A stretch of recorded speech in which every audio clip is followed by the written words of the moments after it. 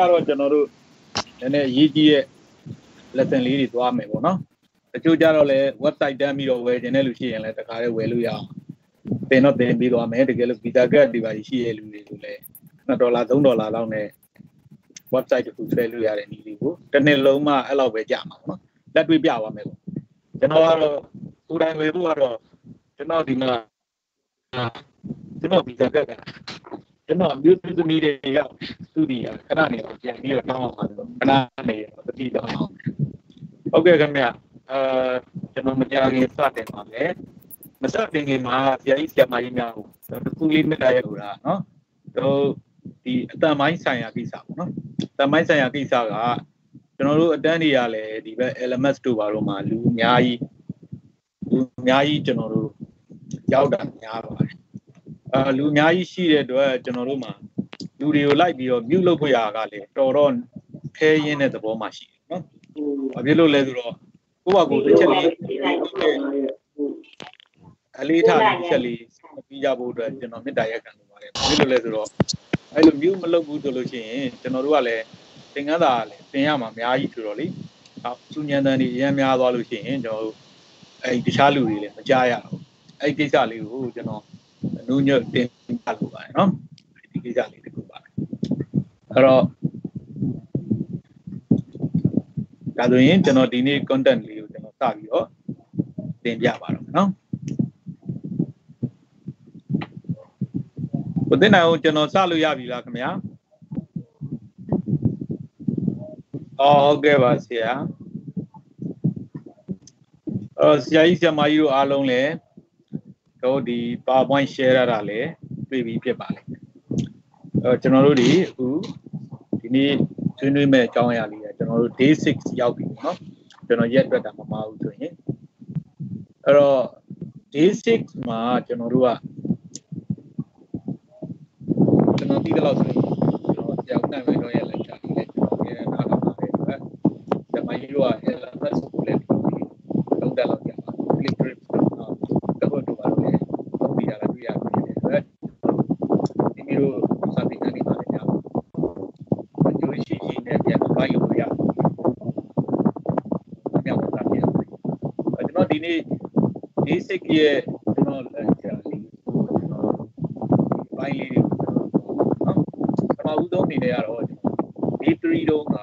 ပြီးခဲ့တဲ့ assignment လေးနဲ့ပတ်သက်တဲ့ feedback ဆရာဒီတန်ကြီးကြားနေရပါတယ်ရှင်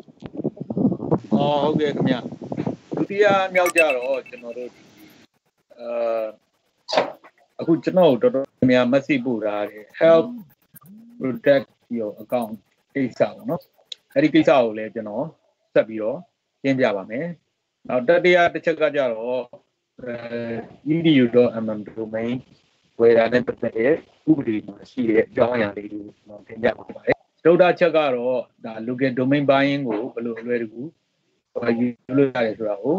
ကျွန်တော်တင်ပြမှာဖြစ်ပြီးတော့ local domain ကဝယ်လို့ရှိရင်အနည်းဆုံးကျွန်တော်တစ်ပတ်လောက်ကြာများပါတယ် အဲ con.mm ပဲဖြစ်ဖြစ် edu.mm ပဲဖြစ်ဖြစ်ပေါ့နော်သူကနည်းနည်းလေးတော့ကြာတယ်ကျွန်တော်တို့ဒီတွင်းကဝယ်လို့ရှိရင်အဲ့တော့တချို့အဖွဲ့အစည်းတွေကြတော့လေဒီပကနေ domain ဝယ်လို့ရှိရင်မြန်တဲ့လူတွေတော့ကကြတော့ international domain နဲ့ပတ်သက်ပြီးတော့ buying လုပ်တာကြီးနောက် DNS record လုပ်တာကြီးမြင်ပြီးပါမယ်နောက်ဆုံးအရေးကြီးတဲ့သင်ခန်းစာနှစ်ခုကြတော့ကျွန်တော် PowerPoint နေနဲ့မသွားဘဲနဲ့ကျွန်တော်တို့လက်တွေ့အတူတူလှုပ်ဆောင်သွားကြမှာဖြစ်ပါတယ်နော် creating a website with free hosting ပေါ့ဒီ အကြီးဆရာမကြီးတို့ဒီဘက်က domain ဝယ်ပြီးပြီဖြစ်စေမဝယ်ပြီးပြီဖြစ်စေမှာ website ကို free hosting နဲ့လုပ်လို့ရတဲ့အပိုင်းလေးတွေသင်ပြီးသွားမှာဖြစ်ပြီးတော့အဲ့ဒါလေးကလည်းမိမိတို့စာသင်ခန်းတွေမှာဆိုလို့ရှိရင်အဲ content creation ဘိုင်းပေါ့ကျောင်းသူကျောင်းသားတွေကိုသင်ကြားပေးတာတို့ PowerPoint တွေတင်ဆက်တာတို့ Moodle မရှိသေးတဲ့ကျောင်းတွေအတွက်ကိုလည်းအဲဒီကျွန်တော်တို့ဒီ Moodle ပေါ်မှာသုံးလို့ရတဲ့ဒီလေးတွေကျွန်တော်ပြောပြပေးပါမှာဖြစ်ပြီးတော့ နောက်ဆုံးတစ်ခုကြတော့ဆရာကြီးဆရာမကြီးတို့ကသာ admin control တွေဆက်ပြီးတော့လုပ်ဆောင်လို့ရအောင်အဲ admin control ဘိုင်းကိုလည်းကျွန်တော်နည်းနည်းဆက်သွားမှာဖြစ်ပါတယ်ပြီးရင်ကျွန်တော်တို့ question and answer session ရောက်ပါအဲ့တော့ဒီနေ့ကျွန်တော်ပထမဦးဆုံးတင်ပြလိုတာကကျွန်တော် D3 assignment အကြောင်းကိုကျွန်တော်တင်ပြပါကျွန်တော်တို့ဒီဘက်မှာ D3 ကိုကျွန်တော်တို့ screen share တာလေးခဏပြင်ရက်ပြီးတော့ကျွန်တော် desktop share လေးနဲ့ပြန်ပါပါနော်အဲ့တော့ ကျွန်တော် D3 ရဲ့ assignment လေးတွေကိုကျွန်တော်တို့ဒီမှာ14 points ကိုဖြေထားတဲ့ဒီအားလုံးပေါင်းခေါ်2ယောက်9ယောက်ဖြစ်ကျွန်တော်နေကကြည့်တော့190လောက်ရှိအခုတော့207ဖြစ်ပါနော်အဲကျွန်တော်ဒီမှာကြာကြီးဆရာမကြီးတို့အဖြေလေးတွေကိုကျွန်တော်ကြည့်တဲ့အခါမှာအဲဒီ response လေးတွေကိုကြည့်တယ်ပေါ့နော် response လေးတွေကြည့်တဲ့အခါမှာပထမနံပါတ်1မှာမှန်တဲ့လူများပါအဲ office business basic tenant က လူ300ဆက်ပါတယ်နော်သူ့ရဲ့ဒီမှာ300ပါဆရာကြီးကျမတို့လည်း click လုပ်ပြီးတော့ကြည့်လို့ရမယ်လို့ထင်ပါတယ်နော်ကျွန်တော် view result ကိုနှိပ်လို့ရှိရင် now enterprise ကြတော့သူက unlimited ဖြစ်တာကိုမအောင်ပြီးတဲ့လူက190လောက်ရှိလာတယ်သူ့ရဲ့ဖြေမှန်းလည်း unlimited user ထည့်လို့ရပါတယ် enterprise account ကတော့သူကတစ်လကို8ဒေါ်လာလောက်ထိပေးရပါတယ်နောက်အဲ့ဒါဒီကြတော့ကျွန်တော်တို့ကဘာ domain မှမလိုဘူးအဲ့ဒီ user တွေထည့်ရင်မတန်းဘူးအကုန်လုံး video conferencing account ကောင်းသုံးလို့ရတယ်နောက်365 business business နဲ့ enterprise တန်းတန်းဒီမှာ license ခမဲ့ပေးလို့ရတဲ့ဟာနဲ့ပတ်သက်လို့ကျွန်တော်ပြောတာမြန်သွားတဲ့အတွက် business basic license ကလည်းအပြည့်မှန်မဟုတ်ပါဘူးအဲ့ဒါကပတ်စံနဲ့ဝယ်ရတာဖြစ်တဲ့အတွက်တယောက်ကိုအနည်းဆုံးအဲ2ဒေါ်လာခွဲလောက်ကြာမှပေးလို့ရ team exploratory license ကလည်းအခမဲ့တော့ရတယ်သူကအယောက်တရာပြီးတဲ့အခမဲ့ပေးလို့ရ power automate license ကြတော့ လူတိုင်းကိုပေးလို့ရပါတယ်တော်တော်များများ1000လောက်ထိသူကပေးလို့ရတာဖြစ်တဲ့အတွက်ကျွန်တော်ကြောင်းသေးလေးတွေအနေနဲ့ office business business နဲ့ပဲသွား enterprise standard နဲ့ပဲသွားမယ်ဆိုရင်ဒီ license လေးလောက်ပေးပြီးတော့ team ကိုပဲဝင်ခိုင်းမယ်ဆိုရင်တခြားသော365တွေတော့သုံးလို့ရမှာမဟုတ်ဘူးပဲဒီတော့မှပေါ့နော် zoom ဆိုလို့ရှိရင်ကျွန်တော်တို့ကပတ်စံနဲ့ဝယ်တယ်ပေါ့သူ့ရဲ့ limitation က meeting ဆိုရင်အယောက်100ပဲဆက်ဒေါ်လာ15ဒေါ်လာနဲ့ဝယ်မယ်ဆိုရင်တော့မှလေတယောက်အယောက်100ပဲဆက်နေပြီးတော့ကျွန်တော် meeting ကို ဟလာ simultaneous meeting တွေလုပ်လို့မရဒီကောင်ကြတော့ unlimited ဖြစ်တယ်ပေါ့နော်ဒီတိုင်းလေးပဲတစ်လောက်2ဒေါ်လာခွဲလောက်နဲ့ကိုယ့်ဘာကိုဆောင်ရထားတယ် meeting link လေးပဲထပ်ပြီးတော့လူတွေကိုသူ့အကောင့်လေးပေးထားမယ်ဆိုရင်အဆင်ပြေမှာအဆင်ပြေမဲ့အဲဆောင်ရွက်မှုပါဒီ license လေးနဲ့ဆိုလို့ရှိရင်နော်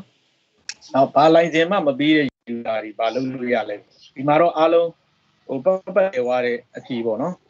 သူ့ရဲ့အဖြေမှန်နှစ်ခုပါကျွန်တော်တို့ tins ကို download ဆွဲပြီးတော့အ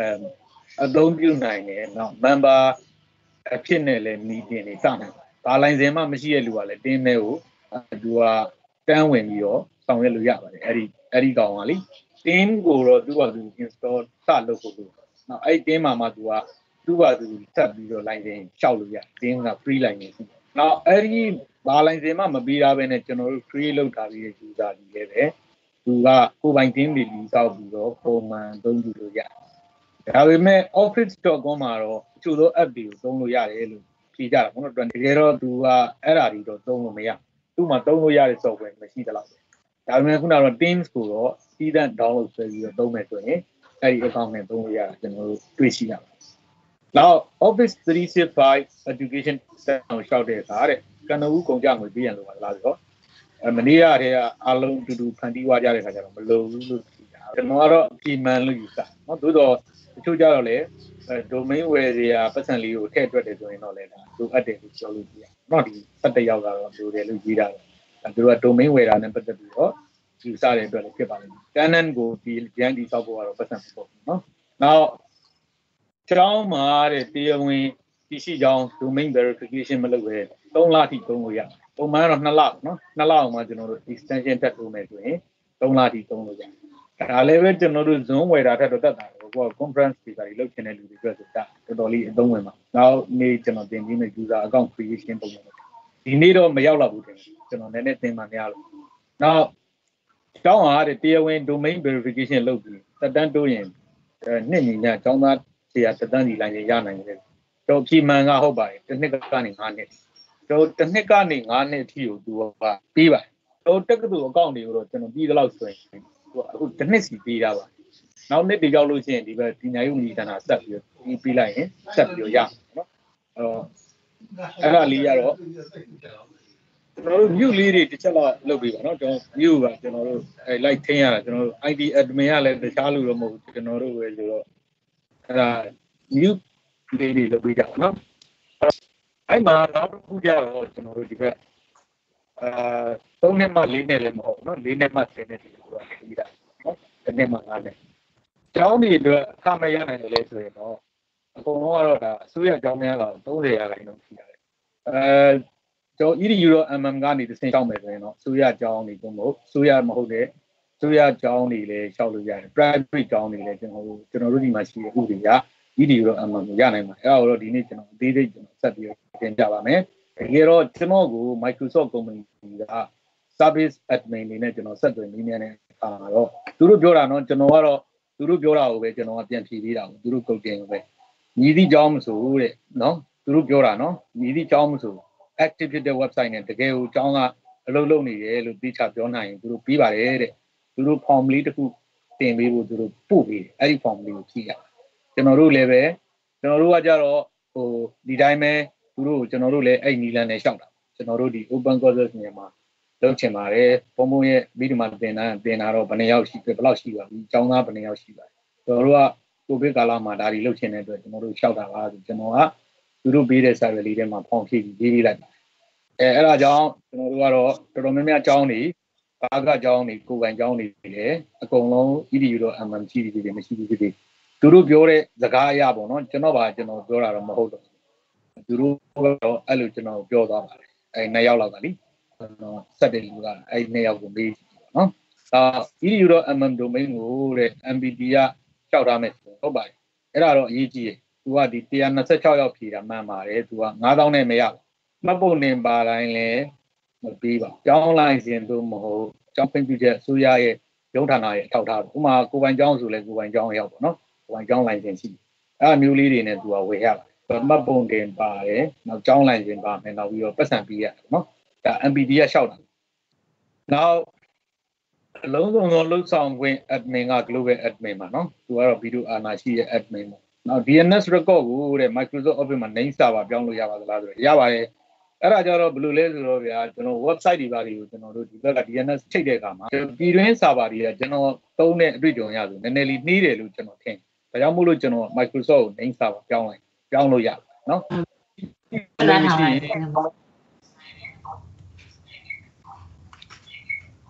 ကျွန်တော်တို့အတန်လေးတစ်ချက်လောက် mute လုပ်ပေးပါနော်ကျွန်တော်အဲ့ဒါလေးရေးကြည့်လို့ပါဥသာ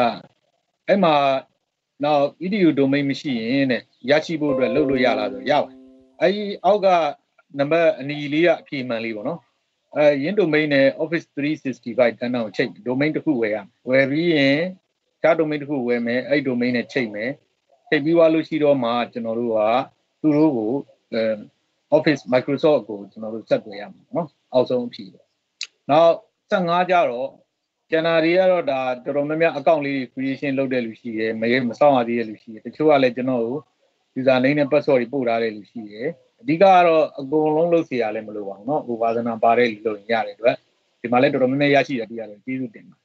တယ်ဒီနေ့ကျွန်တော်အနေနဲ့ ဆရာကြီးဆရာမကြီးရဲ့ feedback လေးတွေနဲ့ပတ်သက်လို့ပြန်လည်ဆွေးနွေးပါမယ်အဲတယောက်ကတော့စစ်တနီကနေမြန်မာပြည်က EDU တော့အမှန်ကိုဝယ်လို့ရမှာလားဆိုတော့မရဖို့များပါတယ်။ဘာဖြစ်လို့လဲဆိုတော့ကိုကအဖွဲ့အစည်းကိုယ်တိုင်မရှိရင်ဝယ်လို့မရပါဘူးเนาะ။အကြောင်းမဟုတ်လို့ကြည့်လို့ရှိရင်အဲ့ဒါနဲ့ပတ်သက်လို့အသေးစိတ်ပြောပြပါဦးမယ်။တော့ဒီမှာကျွန်တော်အနေနဲ့အရေးကြီးတဲ့ကိစ္စပေါ့နော်။စာသင်ချိန်တွင်းမှာတဲ့ကြားဖြတ်နားလည်မလဲမေးခွန်းမေးခွန်းပေးတာများရင်တဲ့သင်္ကန်းစာမပြီးတာမျိုးဖြစ်နိုင်ပါတယ်တဲ့။အဲ့ဒါလည်းပဲကျွန်တော်တို့စဉ်းစားနေပါတယ်။ ဟိုရင်အရင်ရေးကြည့်ရင်တော့မေးလို့ရနော်။ device မကျွမ်းသေးသေး live မမီသေးပါတော့ဒါကတော့ကျွန်တော်တို့ဖြစ်ပါတယ်။နောက်တဖြည်းဖြည်းနဲ့ကျွမ်းသွားမှာပေါ့နော်။အဲ့ဒီမှာပြဿနာကတင်နန်းသားတွေအတန်ကိုတဲ့ admin ဘိုင်းကထိမ့်ချုပ်ထားသည်ကြပါလေ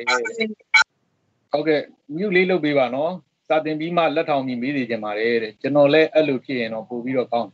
အဲတပြိုင်နက်လိုက်လို့လို့အဆင်မပြေရင်လည်းတဲ့ဗီဒီယိုကြည့်ပြီးပြန်လုပ်ရင်ရမှာပါတဲ့ကျွန်တော်တို့ကတော့အနောက်ရှက်မဖြစ်ဘူးပေါ့နော် ကျွန်တော်တို့နေရာတော့အနောက်ရှက်မဖြစ်ပါဘူးအားလုံးနေမျက်နှာကိုလည်းကျွန်တော်တို့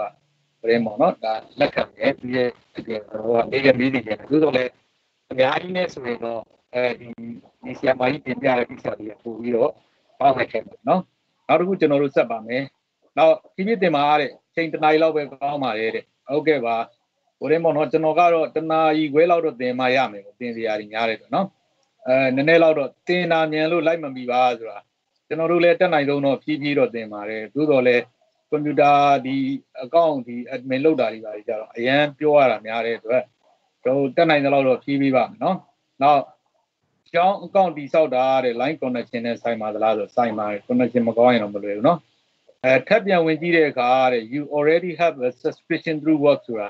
အဲ့ဒါဆိုရင်တော့ browser အသစ်နဲ့ဖွင့်ရင်ဖွင့်မဖွင့်ရင် incognito နဲ့ဖွင့်လို့ရအဲ့ဒါလေးကိုကျွန်တော်ဒီနေ့ပြောပြဒီတယောက်ကတော့ဒီ error ပေါ့နော် အဲနောက်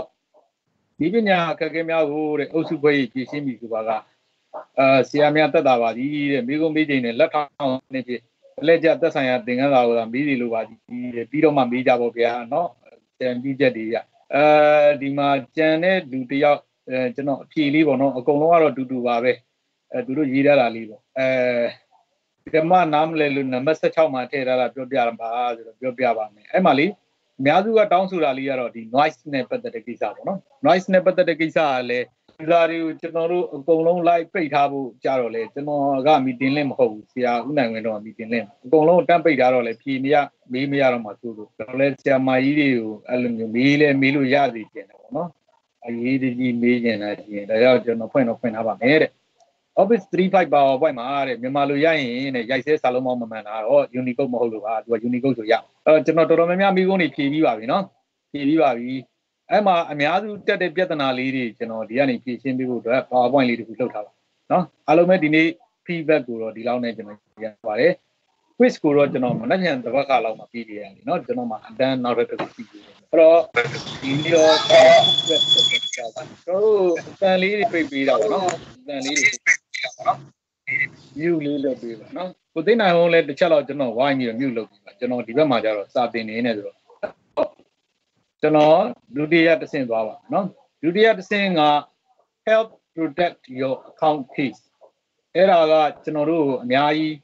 ဟိုဆက်သွယ်ပြီးတော့အဲဆရာကြီးလုံးမရဘူးဒီဆင့်ရောက်သွားပြီဆိုတဲ့ပြဿနာကျွန်တော်တို့ပြောတဲ့လူအများကြီးပါပဲဒီရက်ပိုင်းမှာကျွန်တော် email ပို့တဲ့လူရော Viber ကနေပြောတဲ့လူရော team chatbot ကနေပြောတဲ့လူရောတော်တော်များပါတယ်ကျွန်တော်လည်းတက်နိုင်သလောက်တော့အကုန်လုံးဖြည့်ပေးလို့ရအောင်ဆိုကျွန်တော်အဲ LMS training နဲ့တင်ပေးလိုက်တယ်နော်အဲ့ဒါလေးကိုကျွန်တော်ရှင်းပေးပါမယ်သူတချို့တွေကဒီအကောင့်ကိုပြန်ဝင်တဲ့ခါကျရင်ပေါ့နော် help us protect your your your account အဲ့ဒါချက်မပေါ်အောင်လုပ်ပြီးပေါ့နော်အဲ့တော့ तू ကတော့အခုလိုဒီလိုပေါ်လာတာပေါ့ကျွန်တော်ဝင်တဲ့ခါကျရင်အဲတင်းအကောင့်ကိုအဲကျွန်တော်တို့ကာကွယ်ခွင့်ပြုပါတဲ့ Microsoft အဲကျွန်တော်ကလေတချို့တွေကိုကျွန်တော်တင်ပြလိုတာတခုရှိပါတယ် ဒီသူရေးထားတဲ့စာလေးတွေကိုတေချာဖတ်ကြည့်လိုက်ရင်ကျွန်တော်တို့ကဘာလုပ်ရမလဲဆိုတာကျွန်တော်တို့ကရှင်းရှင်းလင်းလင်းသိနိုင်တယ်အဲ Microsoft မှာ security setting ရှိတယ်အဲ့ဒီ setting ကိုမင်းလုပ်လို့ရတယ်ဒါမှမဟုတ်လို့ရှိရင်နောက်14ရက်မှပြန်လုပ်လို့လည်းရတယ်ဒါမှမဟုတ်ရင်တခြား account သုံးလည်းရတယ်တခြား account သုံးဖို့ကတော့မဖြစ်နိုင်ဘူးလေကိုကဒါဆိုရင် तू ပေးတဲ့အတိုင်း next ဆက်နိုင်မယ်ဆိုရင်လည်းရတယ်နော်အဲ့ဒါလေးကို तू ပြောတဲ့အတိုင်းလေးပဲဆက်လုပ်သွားလို့ရှိရင်ကျွန်တော်တို့ကလွယ်လွယ်လေးလုပ်လို့ရတယ်အဲ့တော့ feature လေးတော့ဖတ်တော့ဖတ်ကြည့်နေတယ်ပေါ့နော် ဖတ်ကြည့်ရင်သူကလည်းရှင်းရှင်းလင်းလင်းရေးရတာဖြစ်တယ်အဲသူပြောချင်တာ Microsoft မိမိ account ပုံလုံးစုံစီကိုဆောင်ရွက်ခိုင်းတာပါအဲ့ဒါတက်တာမဟုတ်ပါဘူးမလုပ်လို့ရင် skip ပေါ်တော့နှိပ်ပါလို့ရလုံးချင်တယ်ဆိုလို့ရှိရင်လည်း next ကိုနှိပ်လို့ရတယ်သူပြောထားတဲ့ညွှန်ကြားချက်တိုင်းဆက်လုပ်သွားလို့ဆက်လုပ်သွားပြီးတော့ဖုန်းထဲကနေတစ်ဆင့် Microsoft Authenticator ကို install လုပ်ပြီးတော့ QR code ကို scan ဖတ်လိုက်ရုံနဲ့လွယ်ပါတယ်ဒါမဲ့ဖုန်းတော်တော်များများရတယ်ဗျ Huawei နောက်ပိုင်းထွက်တဲ့ဒီ American sanction ပြီးတော့မှထွက်တဲ့ Huawei တွေမှာတော့အခက်အခဲရှိအဲ့တော့ကိုက Huawei ဖုန်းနဲ့ authenticator လုပ်ဖို့အဆင်မပြေတဲ့အတွက် Huawei ဖုန်းနဲ့ပဲကင်တဲ့လူတွေအတွက်ကတော့အဲ skip for now ကိုနှိပ်စေချင်ပါတယ်ဒါပေမဲ့လည်းကျွန်တော်အမြင်ကတော့ပုံမူလွယ်ကူအောင် skip for now ပဲသွားစီချင်ပါတယ်ဘာဖြစ်လို့လဲဆိုတော့အဲ skip for now ဝင်ပြီးတဲ့ခါကျတော့မှနောက်တစ်ခါထပ်ပြီးသူမတောင်းဆိုအောင်ကျွန်တော်တို့ပိတ်လို့ရဘာဖြစ်လို့လဲဆိုတော့အဲ့ဒီလိုလှုပ်ထားလို့ရှိရင်ကိုယ့်ရဲ့အကြောင်းပေါ့ ကိုယ့်ရဲ့အကြောင်းကလူတိုင်းရဲ့အကောင့်တွေကိုသူကအဲ့လိုခိုင်းတော့မှာအဲ့ authenticator လေးနဲ့ခိုင်းတော့အဲ့လိုခိုင်းတဲ့ခါကြလို့ရှိရင်ခုနကလိုပေါ့ကျွန်တော်တို့ open courses မြန်မာမှာလိုမျိုးကျောင်းသားတွေကဒီ authenticator တွေဘာတွေနဲ့မဆက်သွယ်ဘဲနဲ့ကျွန်တော်တို့ဒီက form လေးဖွင့်လာတော့မှကျွန်တော်တို့က Viber မှာကျွန်တော်တို့ကအဲ့နော်ဟိုရင်24/7ကိုအမြဲတမ်းဖြည့်နေရတာဖြစ်တဲ့အတွက်အဲ့လို authentication လုပ်ထားရင်တော့တော်တော်များများဒုက္ခများဖို့များတယ်ဟိုလာအကြောင်းတကယ်ဖွင့်မယ်ဆိုရင်ပေါ့နော် ကျွန်တော်တစ်ချက်လောက် speaker လေးပြန်မြှုပ်ပေးပါဦးနော် speaker လေးတွေပြုလုပ်ပေးကြပါသူပြင်သွားပြန်လည်းမသိအဲ့တော့အားလုံးကိုကျွန်တော်အဲ့ဒါတွေ့တဲ့လူတွေအများကြီးရှိပါတယ်ကျွန်တော်ကျွန်တော်ဒီ message ပို့တော့လေအားလုံးဒီလောက်ဆိုရှင်းပြီနော်ကျွန်တော်တို့ဒီမှာ skip for now နှိပ်လိုက် skip for now နှိပ်လိုက်လို့ရှိရင်သူကဒီတိုင်းရောက်သွားတယ် good evening နေပါပြီပြန်ပေါ်လာအောင်ပြန်ပေါ်လာပြီမဲ့ကျွန်တော်ကအဲ့ဒါနဲ့ကြည်နေလို့တော့မရဘူးအေးငါအဆင်ပြေသွားပြီမဟုတ်ဘူးသူ့ကို အေး Microsoft ရေးငါတို့ကတော့အဲ့လိုမင်းလောက်ခိုင်းတယ်လို့လုပ်လို့မရဘူးတို့ဒီမှာခက်ခဲရှိတယ်ဒါလေးကိုเนาะအဲနည်းနည်းတော့မင်းမခိုင်းနဲ့တော့ဆိုပြီးသူ့ကိုပြန်ပြောမှရအဲ့လိုပြန်ပြောဖို့ကခုနဆရာကြီးဆရာမကြီးတို့ဒီမှာရှိတဲ့ admin account ကိုသွားပြီးအဲ့တော့ admin account ကိုနှိပ်လိုက်တဲ့ခါကျလို့ရှိရင်အဲ့ဒီဒီထဲကိုရောက်တယ်နော်ဒီလောက်ထိကျွန်တော်မမြန်သေးဘူးထင်ပါတယ်နော်အားလုံး admin နဲ့ဒီဝင်တာလောက်ကလွယ်ပါတယ်မှတ်မိကြမယ်တင်တယ်နော် အရန်ခတ်သွားပြီဆိုရင်လည်းကျွန်တော်ကိုရပါတယ်ကျွန်တော်လက်ကလေးထောင်လိုက်ပါနော်လက်ကလေးထောင်ပြီးတော့မှမေးလိုက်ပါအော်ဒေါ်နာဝင်းလက်ကလေးထောင်ထားပါတယ်မေးခြင်းမေးလို့ရရပါတယ်နော်ဘာအခက်အခဲရှိဘူးလေဟုတ်ပြီလက်ကလေးပြန်ချအဲ့တော့ကျွန်တော်တို့ဒီမှာအာဒီကိုရောက်သွားပြီရောနော်ဟုတ်ကဲ့ခင်ဗျဟိုသူကလက်ပြန်ထောင်တယ်ကျမကြီးမေးခြင်းတာမေးလို့ရတယ်နော်မေးမယ်ဆိုလို့ရှိရင်အဲဟုတ်ကဲ့ကျွန်တော်ရှေ့ဆက်လိုက်မယ်နော်အော် ဒီမှာ तू ကအဲ့ရရောက်သွားပြီဆိုရင်ဆရာကြီးဆရာမကြီးတို့ဘယ်ကိုနှိပ်ရမလဲဒါလေးသိချာမှတ်တာနော်အဲ့ဒါလေးကိုလည်းကျွန်တော် website မှာဒီ PowerPoint ကိုပြန်တင်ပေးပြီးပါပြီအဲ့ဒါလေးကိုသွားကြည့်တဲ့နည်းလေးလည်းကျွန်တော်အဆုံးသတ်မှာပြန်ပြောပြပါမယ်ဒီ website ထဲမှာအကုန်ပါပြီးသားအရန်မြန်လို့မမီလိုက်လို့ရှိရင်အဲ့ဒီကနေပြန်ကြည့်ပြီးတော့အကုန်လုပ်လို့ရတယ်နော်ဗီဒီယိုတွေကလည်းကျွန်တော်တို့ LMS နဲ့ပတ်သက်တာကတော့အများနဲ့ like ဝင်ထားတဲ့အတွက်အကုန်ပြန်ကြည့်လို့ရတယ်ဒီလိုထဲမှာနော်အရန်မြန်သွားတယ်ဆိုရင်ဒီဘက်ကကျွန်တော်ဒီမှာ show all နှိပ်လိုက် ဒီမှာတော့တွေ့လိုက် show all လေးကိုနှိပ်လိုက်တဲ့အခါကျလို့ရှိရင် admin ဘန်ရောက်ပြီး show all နှိပ်ရမယ်အဲ့လိုနှိပ်လိုက်ပြီးရင်ကျွန်တော်ခင်ဗျာမမြင်ရဘူးဆရာဆရာမကြီးမမြင်ရတာလीကျွန်တော်တို့ဒီဘက် connection နဲ့ဆိုင်ပါလိမ့်မယ်ဆရာမကြီးအစည်းအဝေးကနေခဏလေးထွက်ပြီးတော့ပြန်ဝင်လိုက်တာနော်အဲ့ဒါဆိုလို့ရှိလို့ရှိရင်ပြန်ပြီးတော့မြင်ရပါလိမ့်မယ်နော် ဟို तू ကဒီဟိုတဲ့မော်အရင်မမြင်ရလို့ရှိရင် live ကနေကြည့်ပြီး live လုပ်လို့လည်းရတယ်နော်ဒီဘက်မှာဆရာမကြီးမေးချင်တာပြန်မေးလို့ရလी live မှာတော့ကိုသိန်းနိုင်အောင်လွှင့်ပေးနေတာဖြစ်တဲ့အတွက် तू ကတောက်တောက်ချောက်မြင်နေရနော်ဒီကို connection မကောင်းလို့ရှိရင်လည်းအဲ့တော့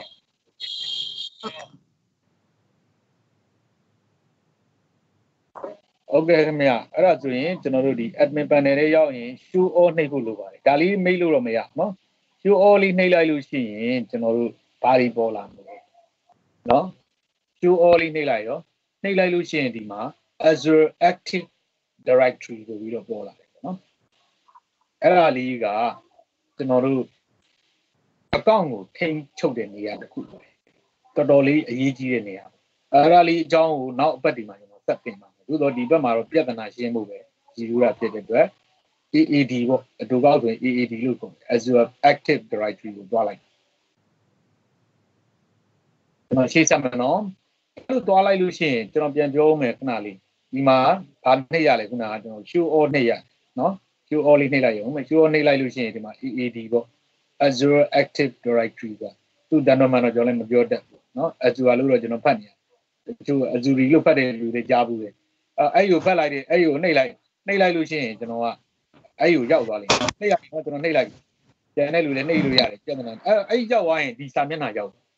ဒီစာမျက်နှာဒီနော်အဲ့ active directory EED ရဲ့ main dashboard ကိုရောက်သွားနှိပ်လိုက်တာနဲ့ရောက်သွားအဲရောက်သွားပြီဆိုရင်ကိုယ်တစ်ခါတည်းကျရင် sign in ဝင်ခိုင်းတာလည်းရှိနိုင်ဒီဆိုင်တင်တော့ပြန်ပြရ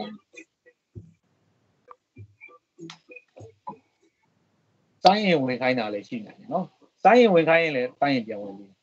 အဲ့တော့ဒီလိုနှိပ်လိုက်ပြီဆိုရင်ကျွန်တော်တို့ကဒီမှာအများကြီးထိန်းချုပ်စရာတွေရှိရတဲ့အခါမှာဘာကိုနှိပ်မလဲဆိုရင် အဲအဲ့ဒါလေးပြန်မှတ်နော်ဒီမှာ AAD ကိုထပ်နှိပ်ရ Azure Active Directory ပေါ့ဒါလေးဒီရဟာလေးကျွန်တော်ပြရနေရလေးနော်အဲ့ဒီနေရာလေးကိုကျွန်တော်တို့ထပ်ပြီးတော့နှိပ်ပါတယ်ခင်ဗျာအဲ့လေးကိုကျွန်တော်တို့နှိပ်လိုက်တယ်ဆိုလို့ရှိရင်နော်အဲ့နောက်ထပ်တစ်မျက်နှာပေါ်လာဒီလိုမျက်နှာလေးပေါ်ဒါကျွန်တော်ကြောင်းလောက်ထားတဲ့နာမည်ပုံစံလေးကို OCN element နော်အားလီပေါ်လာပြီဆိုရင်ကျွန်တော်တို့ကမလုပ်ရလဲဆိုဒီမှာလေဟိုဒီဘက်မှာ properties ကိုနှိပ်ပို့လို့ ဟော properties ကဘယ်မှာလဲဆိုဒီမှာနော်တွေ့လားဒီနေရာလေးမှာ properties ရှိရှိကျွန်တော် PowerPoint ထဲမှာတော့အကုန်ထည့်ထားပြီးပါတယ်ခင်ဗျာ properties ကိုနှိပ်လိုက်ရင်ရပါပြီအဲ့ properties ကိုနှိပ်လိုက်အဲ့ properties ကိုကျွန်တော်တို့နှိပ်လိုက်တဲ့အခါရောက်လို့ရှိရင်အဓိကကျွန်တော်တို့ပြဿနာရှာနေတဲ့အကောင်ကိုကျွန်တော်တို့တွေ့အဲ property ကိုနှိပ်လိုက်တာပေါ်လာပြီ access management for azure resources အဲ့မှာဆိုရင်အဲ ရန်နိုင်စုံညောက manage access to all ဘာညာပေါ့ဒါတွေရှောက်ဖတ်မလို့ကတော့အောက်မှာအောက်ဆုံးမှာ manage security defaults အဲအဲ့ဒါလေးအဲ့အဲ့ဒါလေးကိုနှိပ်လိုက်ဒီအောက်ဆုံးကဒီဒီဒီဟာလေးကိုနှိပ်လိုက်နော်အောက်ဆုံးက yes no အောက်ကဟာလေးကိုနှိပ်လိုက်ဒီပြာတန်းလေးအဲ့ဒါလေးကိုနှိပ်လိုက်ပြီးရင်ကျွန်တော်တို့ဒီမှာ yes နဲ့ no နဲ့ပေါ်လေနော် yes နဲ့ no နဲ့ပေါ်လေအဲ့ဒါအဲ့ဒါကျွန်တော်တို့ခုန help us protect your account ဆိုပြီးတော့ခဏခဏလောက်ခိုင်းတဲ့တရားခံမယ် အော်ဒီချေကြီးတို့ဒါကိုဘာလုပ်ရမလဲဆိုရင် enable security efforts ကို no အပြာရောင်ဖြစ်အောင်ဒီကောင်လေးကိုအပြာရောင်ဖြစ်အောင်နှိပ်လိုက်ပါနှိပ်လိုက်လို့ရှိရင် तू ကဒီမှာတောင်းမယ်အဲဘာလို့လို့နေရလောက်တာလဲ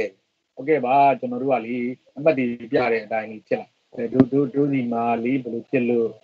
ဒုဒီမှာဒီလိုမျိုး MFA challenges တွေအများကြီးရှိတယ်လူတွေမလုပ်တတ်တဲ့လူတွေရှိတယ်အတွက်အဲအကြောင်းငါတို့မလုပ်ချင်ပါဘူး no ရေးပြီးတော့ save လို့နှိပ်လိုက်ရင် ဒီအကြီးဆရာမကြီးတို့တချို့တွေကြုံတွေ့ရတယ် harvest protect your account ဆိုတဲ့ပြဿနာတော့မဟုတ်ဘူးเนาะအဲ့ဒီကိစ္စကြီးပြည်လည်သွားမှာဖြစ်ပါတယ်เนาะကဲဟုတ်ပါပြီဒါဆိုရင်ကျွန်တော်အနေနဲ့ပရမကျွန်တော်တို့ဒီနေ့ရဲ့ day1 content number 1ပြီးမြောက်ပါပြီခင်ဗျာအဲ့တော့ခုနကကျွန်တော်ပြောပြသွားတဲ့အဆင့်တွေနဲ့ပတ်သက်လို့ဒီလိုက်တဲ့လူလည်းရှိအောင်ဒီနဲ့တခါလည်းတွေ့လိုက်ရလို့ပြီးတော့မမီလိုက်တဲ့လူကလည်းပြန်ပြီးတော့လုံးလို့ရမယ်လို့ပြောနေပါတယ် အဲ့တော့ဒီအဆင့်နဲ့ပတ်သက်ရင်ကျွန်တော်ဒီမှာဒီကုန်းချုပ်ပါမယ်ဆရာကြီးဆရာမကြီးတွေဒီအဆင့်နဲ့ပတ်သက်လို့ကျွန်တော်ကိုမေးမြန်းစရာရှိရင်မေးလို့ရပါတယ်လက်ကလေးအရင်ထောင်ပြီးပါเนาะကျွန်တော်ဒီကနေကြည့်เนาะအဲ့တော့အခုဆရာကြီးဆရာမကြီးတို့မေးမေးမရှိတော့ဘူးထင်ပါတယ်ကျွန်တော်သိတယ်ဘာဖြစ်လို့လဲဆိုတော့လွယ်လဲလွယ်ပါတယ်ကျွန်တော် website လေးမှာလည်းတင်ထားပြီးတဲ့အတွက်လေကျွန်တော်ရဲ့ဒီ LMS training ထဲမှာ ဟောအဲ့မှာဆရာမကြီးတယောက်ကလေ PowerPoint လေးတွေကိုတဲ့ဆရာရဲတဲ့ဟိုထဲမှာတဲ့ file menu ထဲမှာထည့်ပြီးပါတဲ့ဟုတ်ကျွန်တော်အဲ့ဒါလေးနောက်ဘက်ကနေစပြီးထည့်ပေးပါနော်ကျွန်တော် PowerPoint တွေကိုဒီ website လေးမှာတင်ထားပြီးသားဖြစ်တဲ့အတွက်ကျွန်တော်ထည့်မပေးတာတကယ်လို့ဆရာမကြီးတို့အဲ့လို file file တက်ထည့်ရပဲ download ဆွဲခြင်းလည်းကျွန်တော်ထည့်ပေးထားပါမယ်ကျွန်တော် feedback ပေးတဲ့အခါမှာကျွန်တော် teacher လေးပြန်ကြည့်တာဆရာမကြီးတို့ဆရာကြီးတို့ပြောတဲ့ဟာတွေမှတ်ထားပါ အဲ့တော့ကျွန်တော်နောက်ဘက်ရောက်ရင်အဲ့ဒီ PowerPoint လေးကို file တက်ထဲမှာထပ်ပြီးထည့်ပေးပါနော်အားလုံး download နောက်တစ်ခုဆွဲခြင်းလည်းလုပ်တဲ့ဟုတ်ပါပြီဒါဆိုရင်ကျွန်တော်တို့ day 1 content ကိုကျွန်တော်တို့ရလား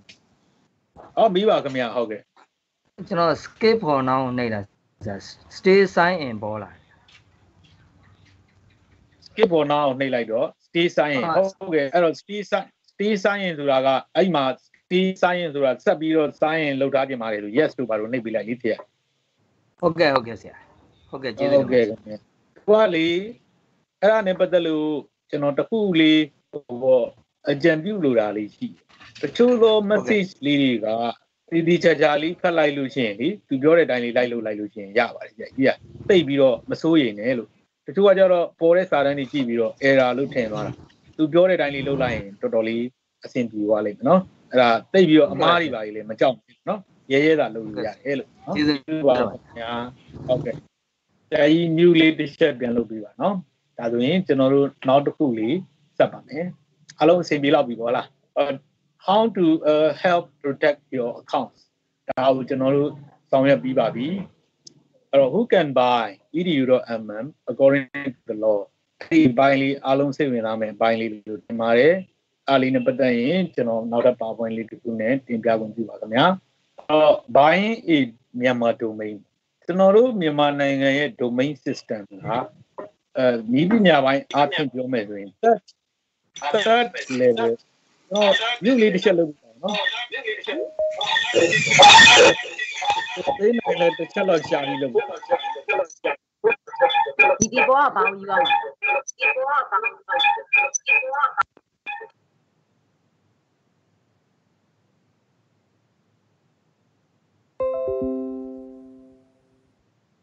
ဟုတ်ကဲ့ခင်ဗျာ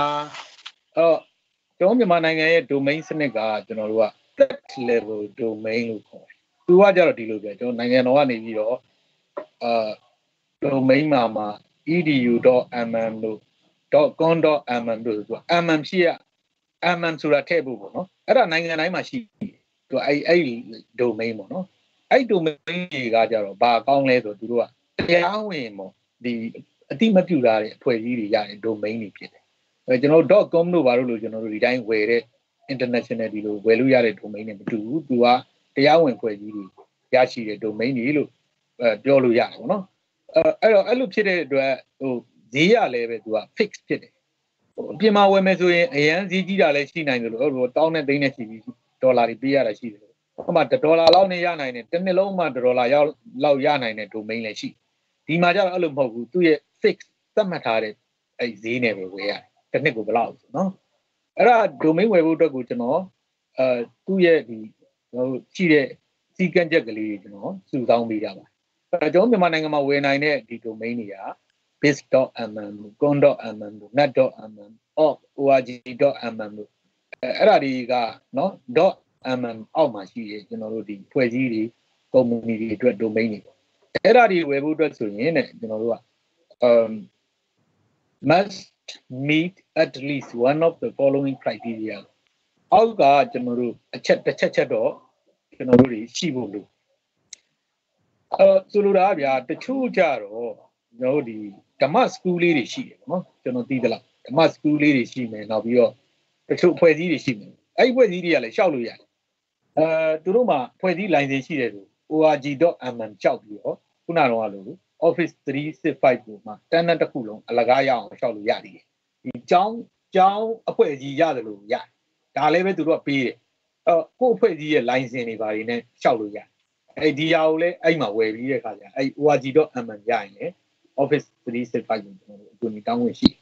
အဲ့တော့အဲ့ဒါရဖို့အတွက်ဆိုရင် a society register person to မြန်မာ law မြန်မာဥပဒေရတရားဝင်ထုတ်ပြတယ်အသင်းဖွဲ့ ဟိုမှာနိုင်ကြီးမှုအသင်းလို့လို့အဲ့လိုမျိုးသူဖွဲ့စည်းလိုက်ရင်မှတ်ပုံတင်တစ်ခုခုရှိရင်ရနောက်တစ်ခုကြတော့ကျွန်တော်ဥမာပေါ့အာဥမာပြောရရင်ကောင်းတဲ့ရောက်လာဆိုရှင်းနေများကွန်ရက်ဘာလို့ဒီလိုမျိုး a professional firm such as law audit architect and real estate firms register either way established in accordance with the respective statute of the body governing the that the professional firm ဒီလိုအဖွဲ့အစည်းတွေပေါ့နော်အဲ့တော့နောက်တစ်ခုကြတော့ဟို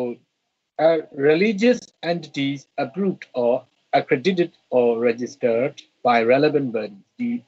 အာသာရေးဆိုင်ရာအဖွဲ့အစည်းတွေလည်းဒီမှာရှိရင်ကျွန်တော်တို့ရှောက်လို့ရပါတယ်အဲ့တော့ဒါဆိုရင်ကျွန်တော်တို့တော်တော်လေးအဆင်ပြေပြီเนาะအောက်မှာကတော့ဒါဒါဒီမှာကျွန်တော်အဓိကပြောချင်တာတော့ org.mm ပေါ့တခြားဟာတွေဝယ်မယ်ဆိုရင်ဒီမှာ .mm ဆိုရင်သူက company မှတ်ပုံတွေရှိဖို့လိုတယ်အဲဒါကြတော့အသေးစိတ်တစ်ခုစီเนาะဒါတွေကြတော့ အဲကျွန်တော်ဒီမှာတစ်ချက်ထပ်ပြီးတော့ပြောမယ်ဆိုရင် EDU domain နဲ့ပတ်သက်တဲ့ကိစ္စเนาะအားလုံးကျွန်တော်ပြန်မေးတဲ့ကိစ္စဆိုတော့သူ့ရဲ့ to be eligible for being assigned edu.mm နဲ့အဲ့ဒါရှိဖို့ဆိုရင်တဲ့ must meet at least one of the following criteria အဲ့ဒီဟာရှိရပရမတ်တစ်ခုက government aided primary and secondary school including vocational school ခေါ်ဆိုလိုတဲ့အိဗေက ဘူလာရန်ကျောင်းဒီအလေရန်ထက်တန်းကျောင်းဒီအသက်မွေးဝန်းကျောင်းသင်တန်းဒီအကုန်ရတယ်အဓိကဒီ government aided ဖြစ်ဖို့အဲ့တော့ဒီထဲမှာလို့ဘာတွေပါဝါမဲဆိုရင် government aided primary or secondary school ဆိုရင်ဒါကျွန်တော်ဘာကကျောင်းတွေပါပါသွားတယ်เนาะသူ့ရဲ့ law ရကျွန်တော်တို့လည်းကြောက်ရတာပဲပါလိမ့်မယ်เนาะအဲ့တော့ဒီဟာလေးကိုအဲ့ဒီဟာလေးသိချာလေးမှတ်ထားပါเนาะ government aided primary and secondary school သူ့ရဲ့ဥပဒေမှာရှိတဲ့အတိုင်း အဲ့နောက်တစ်ခုကျအဲ့ဒါရှောက်ဖို့ဆိုရင်ဥမာပေါ့နော်ဘာကကျောင်းဆိုရင်တော့သာသနာရေးဥပဒေဌာနနေဘာကကျောင်းဖွင့်ခွင့် license ဆိုပြီး license တော့မဟုတ်ဘူးအဲ့လိုညွှန်ကြားရေးမှုချုပ် level နဲ့အမိန့်စာထုတ်တာရှိတယ်အဲ့ဒါလေးကိုတက်ပုံရိုက်ပြီးတော့အဲ့ဒီ company မှာဝယ်လို့ရနော်နောက်တစ်ခုကျတော့ university under the administration of ဒါတော့ရှင်းပါတယ်နော်တက္ကသိုလ်တွေနောက်အဲနောက်တချို့ကျတော့ကိုပိုင်ကျောင်းတွေရှိတယ်နော်ကိုပိုင်ကျောင်းဆိုရင်ကျွန်တော်တို့ DB3 လား DB1 လားအဲ့ဒီ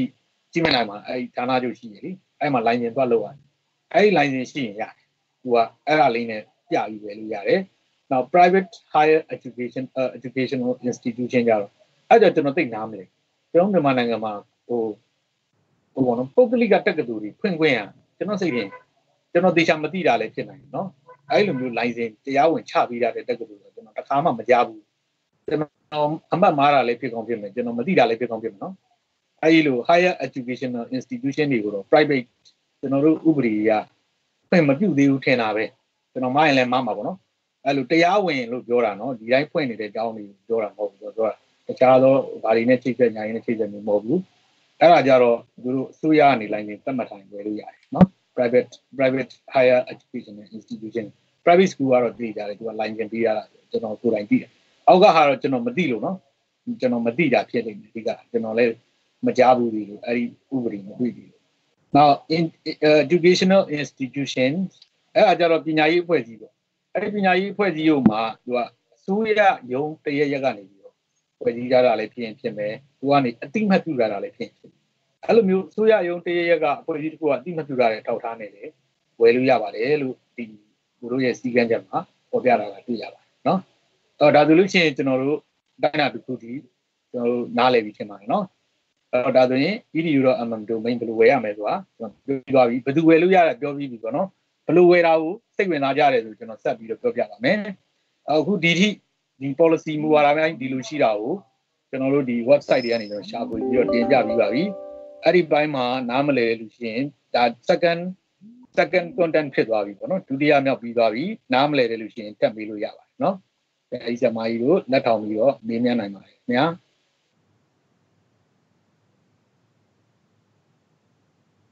ဟုတ်ကဲ့ပါဒါဆိုလို့ရှိရင်ကျွန်တော်တို့မေးရလူမရှိတော့ဘူးဖြစ်တဲ့အတွက်အားလုံးနားလည်ပြီးထင်ပါတယ်ကျွန်တော်နောက်တစ်ဆင့်လေးတက်ခွင့်ပြုပါအရေးကြီးတဲ့အဆင့်ပေါ့နော်ဒါတော့ဒါတော့လက်တွေ့လောက်ရမယ့်အဆင့်ရောက်အဲ့ဒါမလုပ်ခင်မှာကျွန်တော်အနေနဲ့က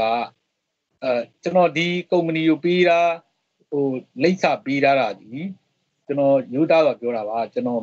ကျွန်တော်တီးတဲ့ဟာလေးတစ်ခုကျွန်တော်ပေးတာချင်းဖြစ်ပါတယ်သူတို့စီကနေလည်းပဲကျွန်တော်ပတ်စံယူထားတာလည်းမရှိပါဘူး ကျွန်တော်ကိုယ်တိုင်ဝယ်ခဲ့တဲ့နေရာလေးတစ်ခုပဲကျွန်တော်ပြလာတာဖြစ်ပါတယ်ခြားသောကုမ္ပဏီတွေလည်းအများကြီးဆရာကြီးဆရာမကြီးတို့ဟလာဟို .mm edu .mm ဝယ်ဖို့အတွက်ဆို Google မှာ browse နှိပ်လို့ရပါတယ်ကျွန်တော်က MPD ကနေရှောက်ဖို့ကြတော့ MPD ကကျွန်တော်တပတ်ဆောက်ခိုင်းတာ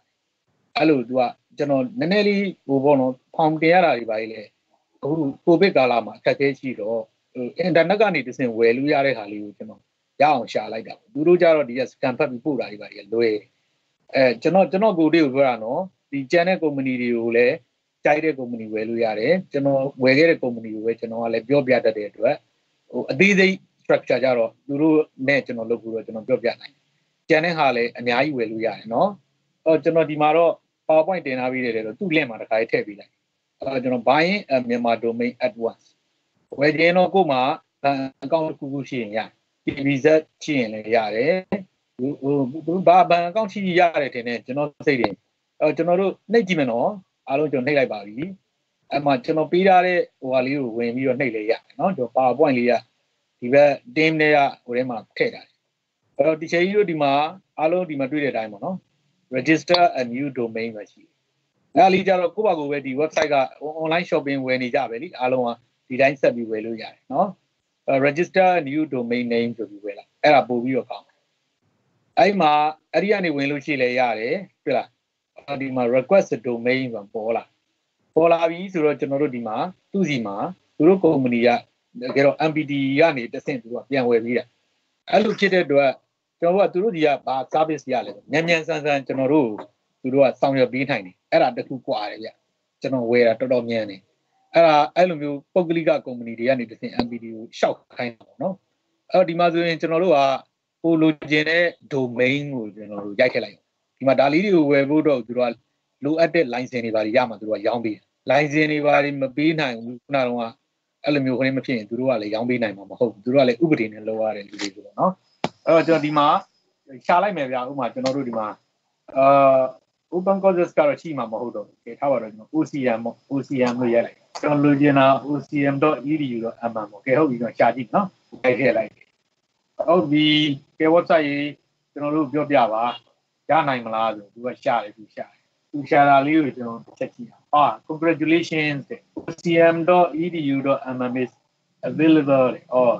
ကြောင်းလို့ရပါတယ်ဗျာတဲ့သူဒီမှာရှိတယ် ocm.gun.mm လည်းရတယ်နော်9000နေမယ်တဲဟုတ်ပါလားအဲ့တော့ကျွန်တော်တို့ကဒါဆိုလို့ရှိရင်ဟိုမှာသူတခြားရနိုင်တာလေးတွေသူပြထားသေးတယ်နော် အဲကျွန်တော်ကတော့ဒီမှာအဲဒါလေးဝယ်မယ်ကွာဆိုပြီးကျွန်တော်က9000 9000ဆိုမဲ့ခုနပွဲသားကလေးကလေးပေးရမှာပေါ့နော်အပြင် website တစ်ဆင့်ပြန်ပြီးစားပြီးယူတာအဲ့တော့ဒီမှာကျွန်တော်ဝယ်လိုက်ပြီအဲဝယ်တာတစ်ခါမပေးရသေးဘူးနော်ကျွန်တော်မဝယ်ဘူးနော်ကျွန်တော်ကိုယ်တိုင်တော့မဝယ်တော့ဘူးနော်ကျွန်တော်မှရှိပြီးသားဆိုကျွန်တော်လုပ်ပြချက်ကောက်လေးကျွန်တော်နှိပ်လိုက်နှိပ်လိုက်ပြီဆိုလို့ရှိရင် तू ကနော် hosting ဝယ်မှာလားလို့ပြောတယ်အဲ hosting တော့မဝယ်ပါနဲ့ hosting ကကျွန်တော်တို့ အလကားရတဲ့နေရာလေးပြီးရင်ပြောပြမှာပါအဲ့တော့ဒါလေးကိုဒီမှာဘယ်လောက်ဘယ်လောက်ဘယ်နှစ်နှစ်ဝယ်ခြင်းလဲတစ်ခါလေးဝယ်ပေါ့နော်တစ်နှစ်သို့မဟုတ်နှစ်နှစ်အဲ့တော့ဒီနေရာမှာ name server ဆိုတာလေးကိုကျွန်တော်ရှင်းပြခြင်းပါတယ် name server ရဲ့သဘောတရားကကျွန်တော်တို့ဒီကိုဝယ်ထားတဲ့ domain ကိုဥပမာဒီချက်ကြီးတို့က edu.mm ဟာဝယ်လိုက်ပြီပေါ့ဗျာဥပမာဆိုကြပါစို့ ui.edu.mm ပေါ့ဟုတ်ပြီအဲ့ဒါဝယ်ပြီးသွားလို့ရှိရင်ကျွန်တော်တို့ကသူ့အရှိရနေပြီအမှန်မှပေါ့နော် ကျောင်းသားတွေကိုကျောင်းသားတွေအတွက် website အဲ student.ui.edu.mm ဆရာတွေအတွက် website ပေါ့ဗျာ teachers.ui.edu.mm အဲ့လို website အခွဲတွေအများကြီးကျွန်တော်တို့ပြီးလို့ရပါတယ်ဥပမာဆိုရင်ကျွန်တော်ဝယ်ထားတဲ့ domain လေးက achumyama.net ဆိုရင်ဟလာအရှိမှဆိုရင်ကဲဆိုကြပါစို့ english.achumyama.net readma.achumyama.net အများကြီးကျွန်တော်တို့ပွားပြီးလို့ရတယ်တော်တော်များများတိုင်းတာလေးအဲ့လိုပွားတဲ့ကိစ္စတွေနောက် DNS record ချိန်တယ်ဆိုတာဥပမာပေါ့ကိုကဒီ domain ကိုပိုင်တဲ့လူပါလို့ ဟုတ်တယ်လေ edu domain ကိုဝယ်ပြီး edu domain ကကိုကနေဒီ admin လုပ်ခွင့်ရှိရဖြစ်ပါတယ်လို့ Microsoft မှာလန့်ချိတ်တဲ့အခါကျရင်ဒီ name server ရှိတဲ့နေရာပေါ်ကျွန်တော်တို့ကလာပြီးတော့ခုနကတော့ DNS record တွင်းရတွင်းရတဲ့အခါမှာကျွန်တော်တို့ကနဦးမှာတော့ကျွန်တော်တို့ဒီသူတို့ကိုပဲခဏပေးထားလိုက်သူတို့ပေးထားတဲ့ဒီမှာလေ ns1.m.cat not not အဲအဲ့ဒီကနေပဲသွားထိန်းလိုက်သူတို့ဟာနောက်ပိုင်းကျတော့ကျွန်တော်ကကျွန်တော်ရဲ့ preference က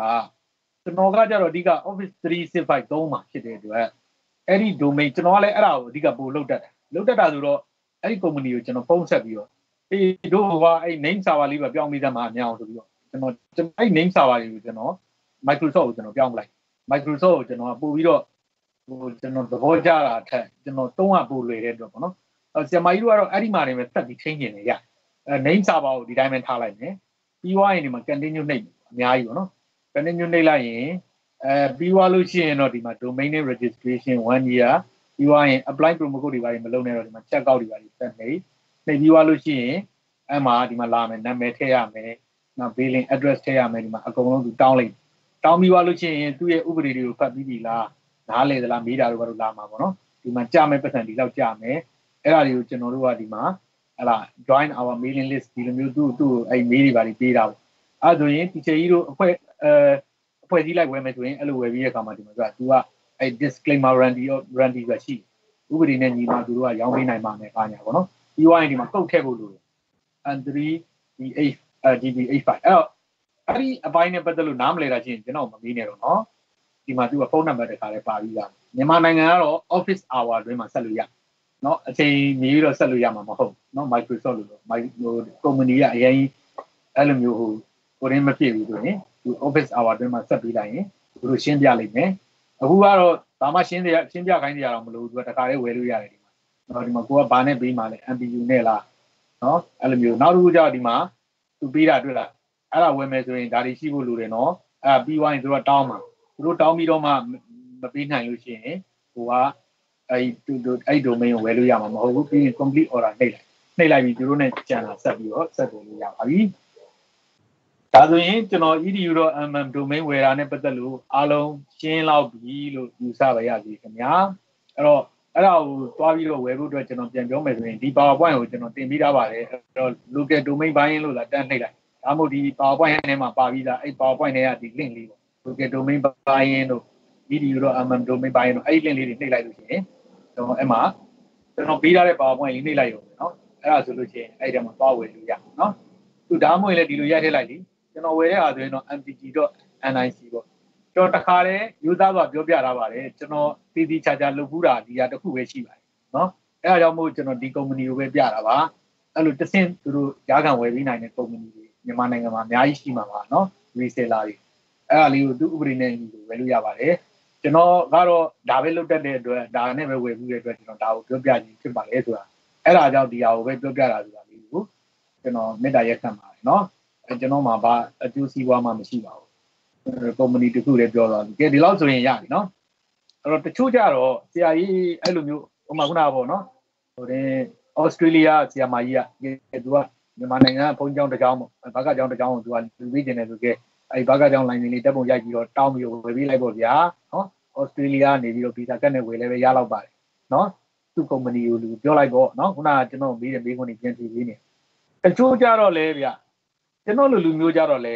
တစ်ခါတလေရောက်တော့လေ domain ကိုရှောက်ပြီးဝယ်ချင်တာဥပမာ business account လေးဖွင့်ထားရင်လည်း2ဒေါ်လာခွဲလောက်နဲ့ဒီ domain က1ဒေါ်လာတန်လောက်ဝယ်မယ်ဗျတစ်နှစ်ကို1ဒေါ်လာတန်လောက်ဝယ်မယ်ပြီးသွားရင်ခုန business သို့မဟုတ် enterprise account လေးဝယ်ပြီးသုံးမယ်ဆို international domain နဲ့ဝယ်လို့ရတယ်ခုန EDU တော့ aman ရှောက်အခက်တဲ့လူတွေဆိုရင်ခုနကျွန်တော်ပြောပြီးသားဒီ international domain လေး1ဒေါ်လာ2ဒေါ်လာတန်လောက်နဲ့လေကိုယ့်အကို active website လုပ်ပြီးသူတို့ရှောက်လို့ရတယ်လို့ Microsoft ကတော့ပြောဘူးတယ်ကျွန်တော်တို့သေချာပြောဘူးတာဖြစ်တဲ့အတွက် အဲ့လိုမျိုးရှောက်ချင်တဲ့လူတွေကတော့ international domain ကိုဝယ်လို့ရပါတယ် international domain ကဝယ်ရတာပို့ပြီးတော့လွယ်ပို့ပြီးတော့လွယ်တဲ့ပြင်ခုနကလိုဥပဒေတွေပါတွေလည်းပဲအများကြီးကျွန်တော်တို့တင်စရာမလိုဒီတိုင်း visa ကတ်ပဲလိုတယ်ဒီကောင်တွေကကြတော့အဲ့တော့ဝယ်မယ်နော်အဲ့ဒါလေးကိုကျွန်တော်တို့ဝယ်ကျင်တဲ့လူတွေရှင်ဝယ်လို့ရအောင်ကျွန်တော်ပြကျွန်တော်နှိပ်လိုက်ပြီကျွန်တော် website မှာနှိပ်လိုက်မယ်ဆိုရင်တော့ကျွန်တော်ကတော့ဒီ website တစ်ခုကနေသူကရှာလာတာပေါ့ဗျာအများဆုံးလူကြိုက်များတဲ့ website တွေပေါ့နော်လူကြိုက်များတဲ့ဟို domain name seller တွေကိုသူတို့စုတာပြီးကြိုက်တဲ့စီရဝယ်လို့ရတယ်ဒီမှာ basic website ဆက်ပြီးဝယ် GoDaddy ကဝယ်ဝယ် Bluehost ကဝယ်ဝယ်အမှ name.com လို့ပါလို့ရှိပြီအများကြီးပဲအော်ဒီဟာလေးနှိပ်ပြီးဝယ်လို့ရအဲသို့တော့ကျွန်တော်သူတို့ကိုမကြိုက်ဈေးကြီးလို့နော်ကျွန်တော်ကတော့ဈေးတော်ဘောတော်တွေပဲကြိုက်တယ်အဲတော့သူတို့နဲ့လည်းကျွန်တော်ဘာမှမသိဘူးနော်သူတို့မကြိုက်ဘူးလို့ပြောတာမဟုတ်သူတို့ကတော့တကယ် top rating ရှိရလူတွေသူတို့ကျွန်တော်ကကြတော့ဘာလို့ဆိုအခုစမ်းမယ်ဆိုရင်ကျွန်တော်မှပတ်သက်လေးရတိတ်မရှိဘူးမရှိတော့ကျွန်တော်လည်း စမ်းပြဖို့တော့ကျွန်တော်လည်းပတ်သက်ဈေးတော်တဲ့ဟာပဲဝယ်မှရဥပမာပေါ့နော်ကျွန်တော်ဥပမာဆိုပါဆိုကျွန်တော်ဒီကနေ blue host ကနေကျွန်တော်ခဏသွားပြဟိုကလည်း second light တယ်တကယ်တော့မဟုတ်အဲ့ဒါတွေကလည်းယုံလို့ရတာမဟုတ်ကိုကဟိုဟိုသင်ကြီးလေးတွေကဝယ်အကုန်လုံးကသိမကွာဘူးဟိုကဟိုဒီမို့လုပ်ငန်းအကြီးလုပ်ပြီးတော့တကဘာလို့ရမယ် website မျိုးဆိုရင်တော့တစ်မျိုးပေါ့နော်အဲ့ခါကျတေချာရေးဝယ်အဲ့မှာဒီမှာဒီ blue host မှာဝယ်တယ်ပေါ့နော်ဝယ်လို့ရှိရင်ဥမာကျွန်တော်ပြဒီမှာ domain လေးဝယ်မယ်ဆို तू ကကျွန်တော်မှာဘာဖြစ်လဲဆိုတော့ဒီမှာ အဲဒါ share hosting သူတို့တတလောက်အဲ့လောက်ပြီးရဒီရလီအဲ့ဒါကြောင့်ကျွန်တော်လည်းမတက်နိုင်ဘူးတလောက်အဲ့လောက်2ဒေါ်လာလောက်လည်းကျွန်တော်မတက်နိုင်ဘူးမှာ host အဲ hosting တော့မဝယ် domain ဝယ်မှာ domain အဲဒီကမဝယ်နဲ့မဝယ်နဲ့လို့ပြောမှလို့သဘောကျရင်ဝယ်ကျွန်တော်ပြီးရင်နောက်ထပ်တစ်ခုဝယ်မယ့်နေရာရှိအဲ့တော့ကျွန်တော်တို့ဒီမှာကြည့်အနောက်ကဒီအနောက်ကဒီ extension ကအရေးကြီးဆုံးပဲအမ com လို့ပါလို့ဆိုရင်တော်တော်ဈေးကြီးမှာဥမာကျွန်တော်ရိုက်ပြ open courses open courses မြန်မာပေါ့ open courses ကြီးပဲသွားလို့လို့ကတော့ မလီတန်းနဲ့ချီတန်းနဲ့ပါချီလို့သွားနိုင်တယ် open courses မြန်မာဟုတ် search ကျွန်တော်ရှာရှိသေးလားအဲ့ဒါရှိသေးလားကျွန်တော်ရှာရှာပြီးမဲ့ရှိတယ်ဗျာ loading search result အောင်မလီ .com ကဘယ်လောက်တဲ့လဲ .com ကအောင်မလီ118ဒေါ်လာဆိုပါလားအမလီမတတ်နိုင်ဘူးဗျာအဲကျွန်တော်အော်ဒီမှာရှိတယ်118ဒေါ်လာမဟုတ်ဘူး17.99ဒေါ်လာလေဒီဒါပေမဲ့ तू ကလေ ဒီ website ဒီအများစုက privacy protection ဆိုတာက तू ကစက်တက်လာနေအဲ့ဒါကြောင့်ကျွန်တော်မတက်နိုင်တော့ဘူးတစ်နှစ်ကို24ဒေါ်လာဆိုတော့ကျွန်တော်အရင်ဈေးကြီးတယ်လို့ခံစားအဲ့တော့ကျွန်တော်လည်းရှာတာပေါ့နော်ကြာကြီးကြမှာကြီးဈေးသက်သာနိုင်တဲ့နေရာလေးနဲ့ရှိလို့ငါ့အဲ့ဒီ website ကိုကြီးညာတာမဟုတ်ဘူးနော်ကျွန်တော်အတွက်ဈေးသက်သာမဲ့ဟာကိုယ့်အကိုရှာတာအဲ့ဒါနဲ့သူ့နာမည်နဲ့ live ဖတ်အောင်မယ်ဒီ privacy protection လာအဲ့လိုအရေးကြီးတယ်သူ့ကိုမဝယ်လို့မဝယ်ဘူးဆိုတော့သူကပြောပြီအင်းမင်းအဲ့ဒါမဝယ်ဘူးဆိုရင်နော် သူ WOA ဟို WHOIS ဆိုတဲ့ website ဒီမှာလीအဲ့ WHOIS database မှာနော်သွားကြည့်လို့ချင်းနော်မင်း domain ရိုက်လိုက်တာနဲ့မင်းနာမည်နဲ့မင်းလိပ်စာနဲ့အကုန်ကြလာမှာနော်မင်းဖုန်းနံပါတ်တွေကြလာမှာနော်သူများတွေကမင်းကိုအဲ့ဒါဒုက္ခပေးလို့ရရင်နော်မင်းမဝယ်ရင်တော့ငါတို့အဲ့ဒါတောင်းဘူးလို့ပြောတာဟုတ်ဟာအဲ့လိုဆိုတော့ဟာမင်းတို့ကလည်းအဲ့ဒါခင်ဗျားတို့ကလည်းဗျကျွန်တော်အဲ့ဒါလေးကာကွယ်ပြီးတော့ပတ်စံတောင်းသလားပေါ့နော်ပြောလဲမဝယ်ရဲတော့ဒီကြီးလို့ဆိုကျွန်တော်ကျွန်တော်ကကြတော့ဒါပေမဲ့ဝယ်တာကောင်းတယ် ဘာဖြစ်လို့လဲဆိုတော့လုံခြုံမှုရှိတာပေါ့အဲကျွန်တော်ကကြတော့အဲ့ဒါဈေးနည်းနည်းကြီးလို့ဆိုပြီးကျွန်တော်ဒီလိုက်ရှာတော့ပေါ့ဆီယမကြီးတို့လည်းကိုယ်တိုင်လုပ်ပြရမှာအဲ့တော့နည်းနည်းလိုက်ရှာတော့အဲသူကဒီနေရာလေးကတော့မစိုးရှာဘူးဗျနော်သူ့ကိုကြော်ညာပေးတာမဟုတ်ဘူးနော်ကျွန်တော်သဘောကျမိတာလေးကိုပဲယူသားပြောပြအော် cheapname.com ဆိုရင်အဲအဲဒါမဟုတ်သေးဘူးဒါမဟုတ်သေးဘူးဒီရမဟုတ်သေးဘူး Google ကိုသွားလိုက်အော် namecheat.com မြ cheap name မဟုတ် Google မှာရှားလိုက်နော်အဲ namecheat.com သူကတော့ကျွန်တော်ကြိုက်တဲ့ domain လေးကျွန်တော်ဝယ်ဒီချိန်ကြီးတို့ဝယ်ပြရင်ကျွန်တော်လည်းနောက်တစ်ချိန်သုံးလို့ရတဲ့ခါလေးဖြစ်မှာအဆင်ပြေမှာဆိုတော့ဒီမှာတွေ့ namecheat.com ဆိုတော့လေအဲ့ဒီကနေသွားဝယ်မယ်ကျွန်တော်ကတော့အဲ့တော့အဲ့မှာဆိုရင်ကဲဟုတ်ပြီအဲတို့ကတော့ OCM LMS လောက်ထားတဲ့ခါကျတော့ OCM LMS အဲဟုတ်အမောရင်အဲ့လိုမရိုက်တော့စုပ်ပါတယ်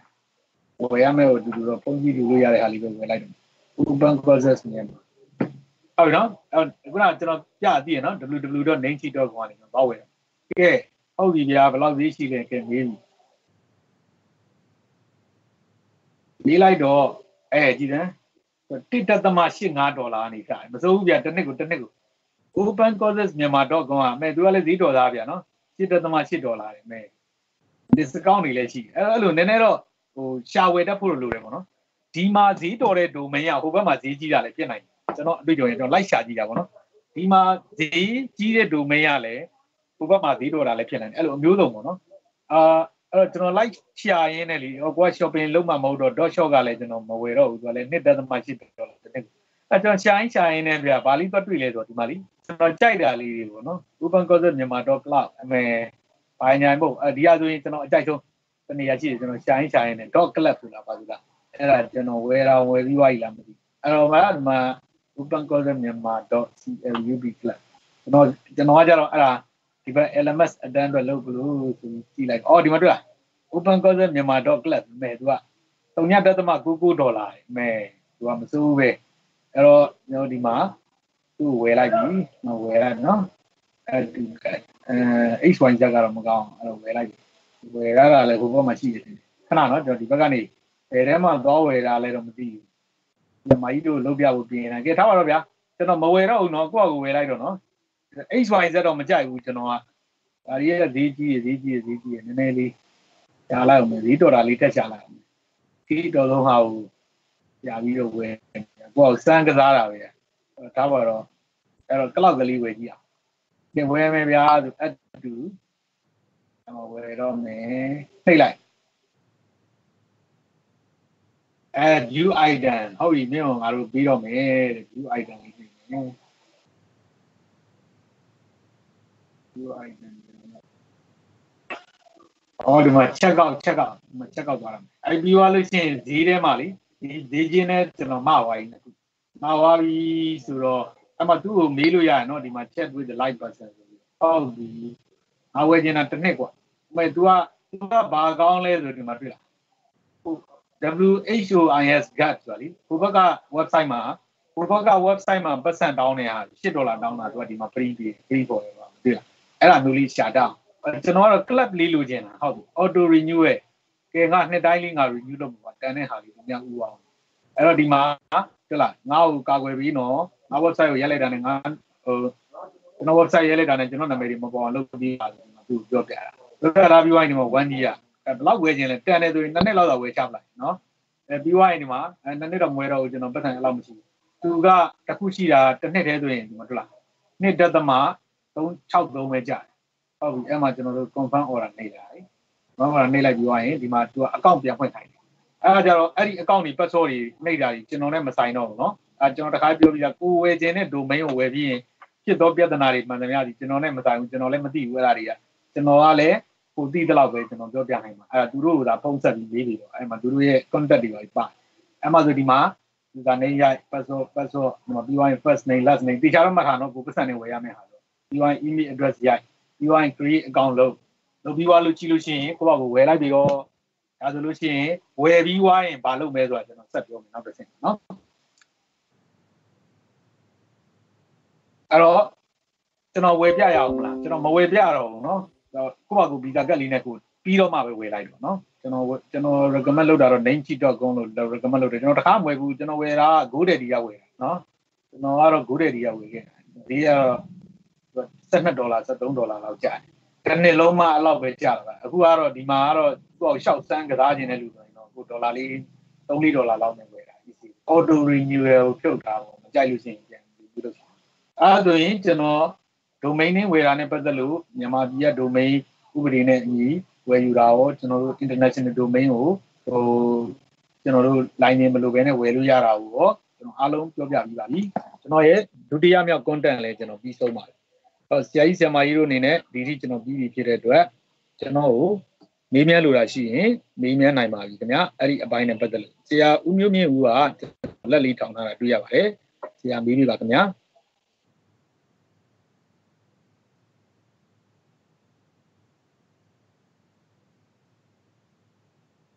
အဲ့တော့ဟယ်လို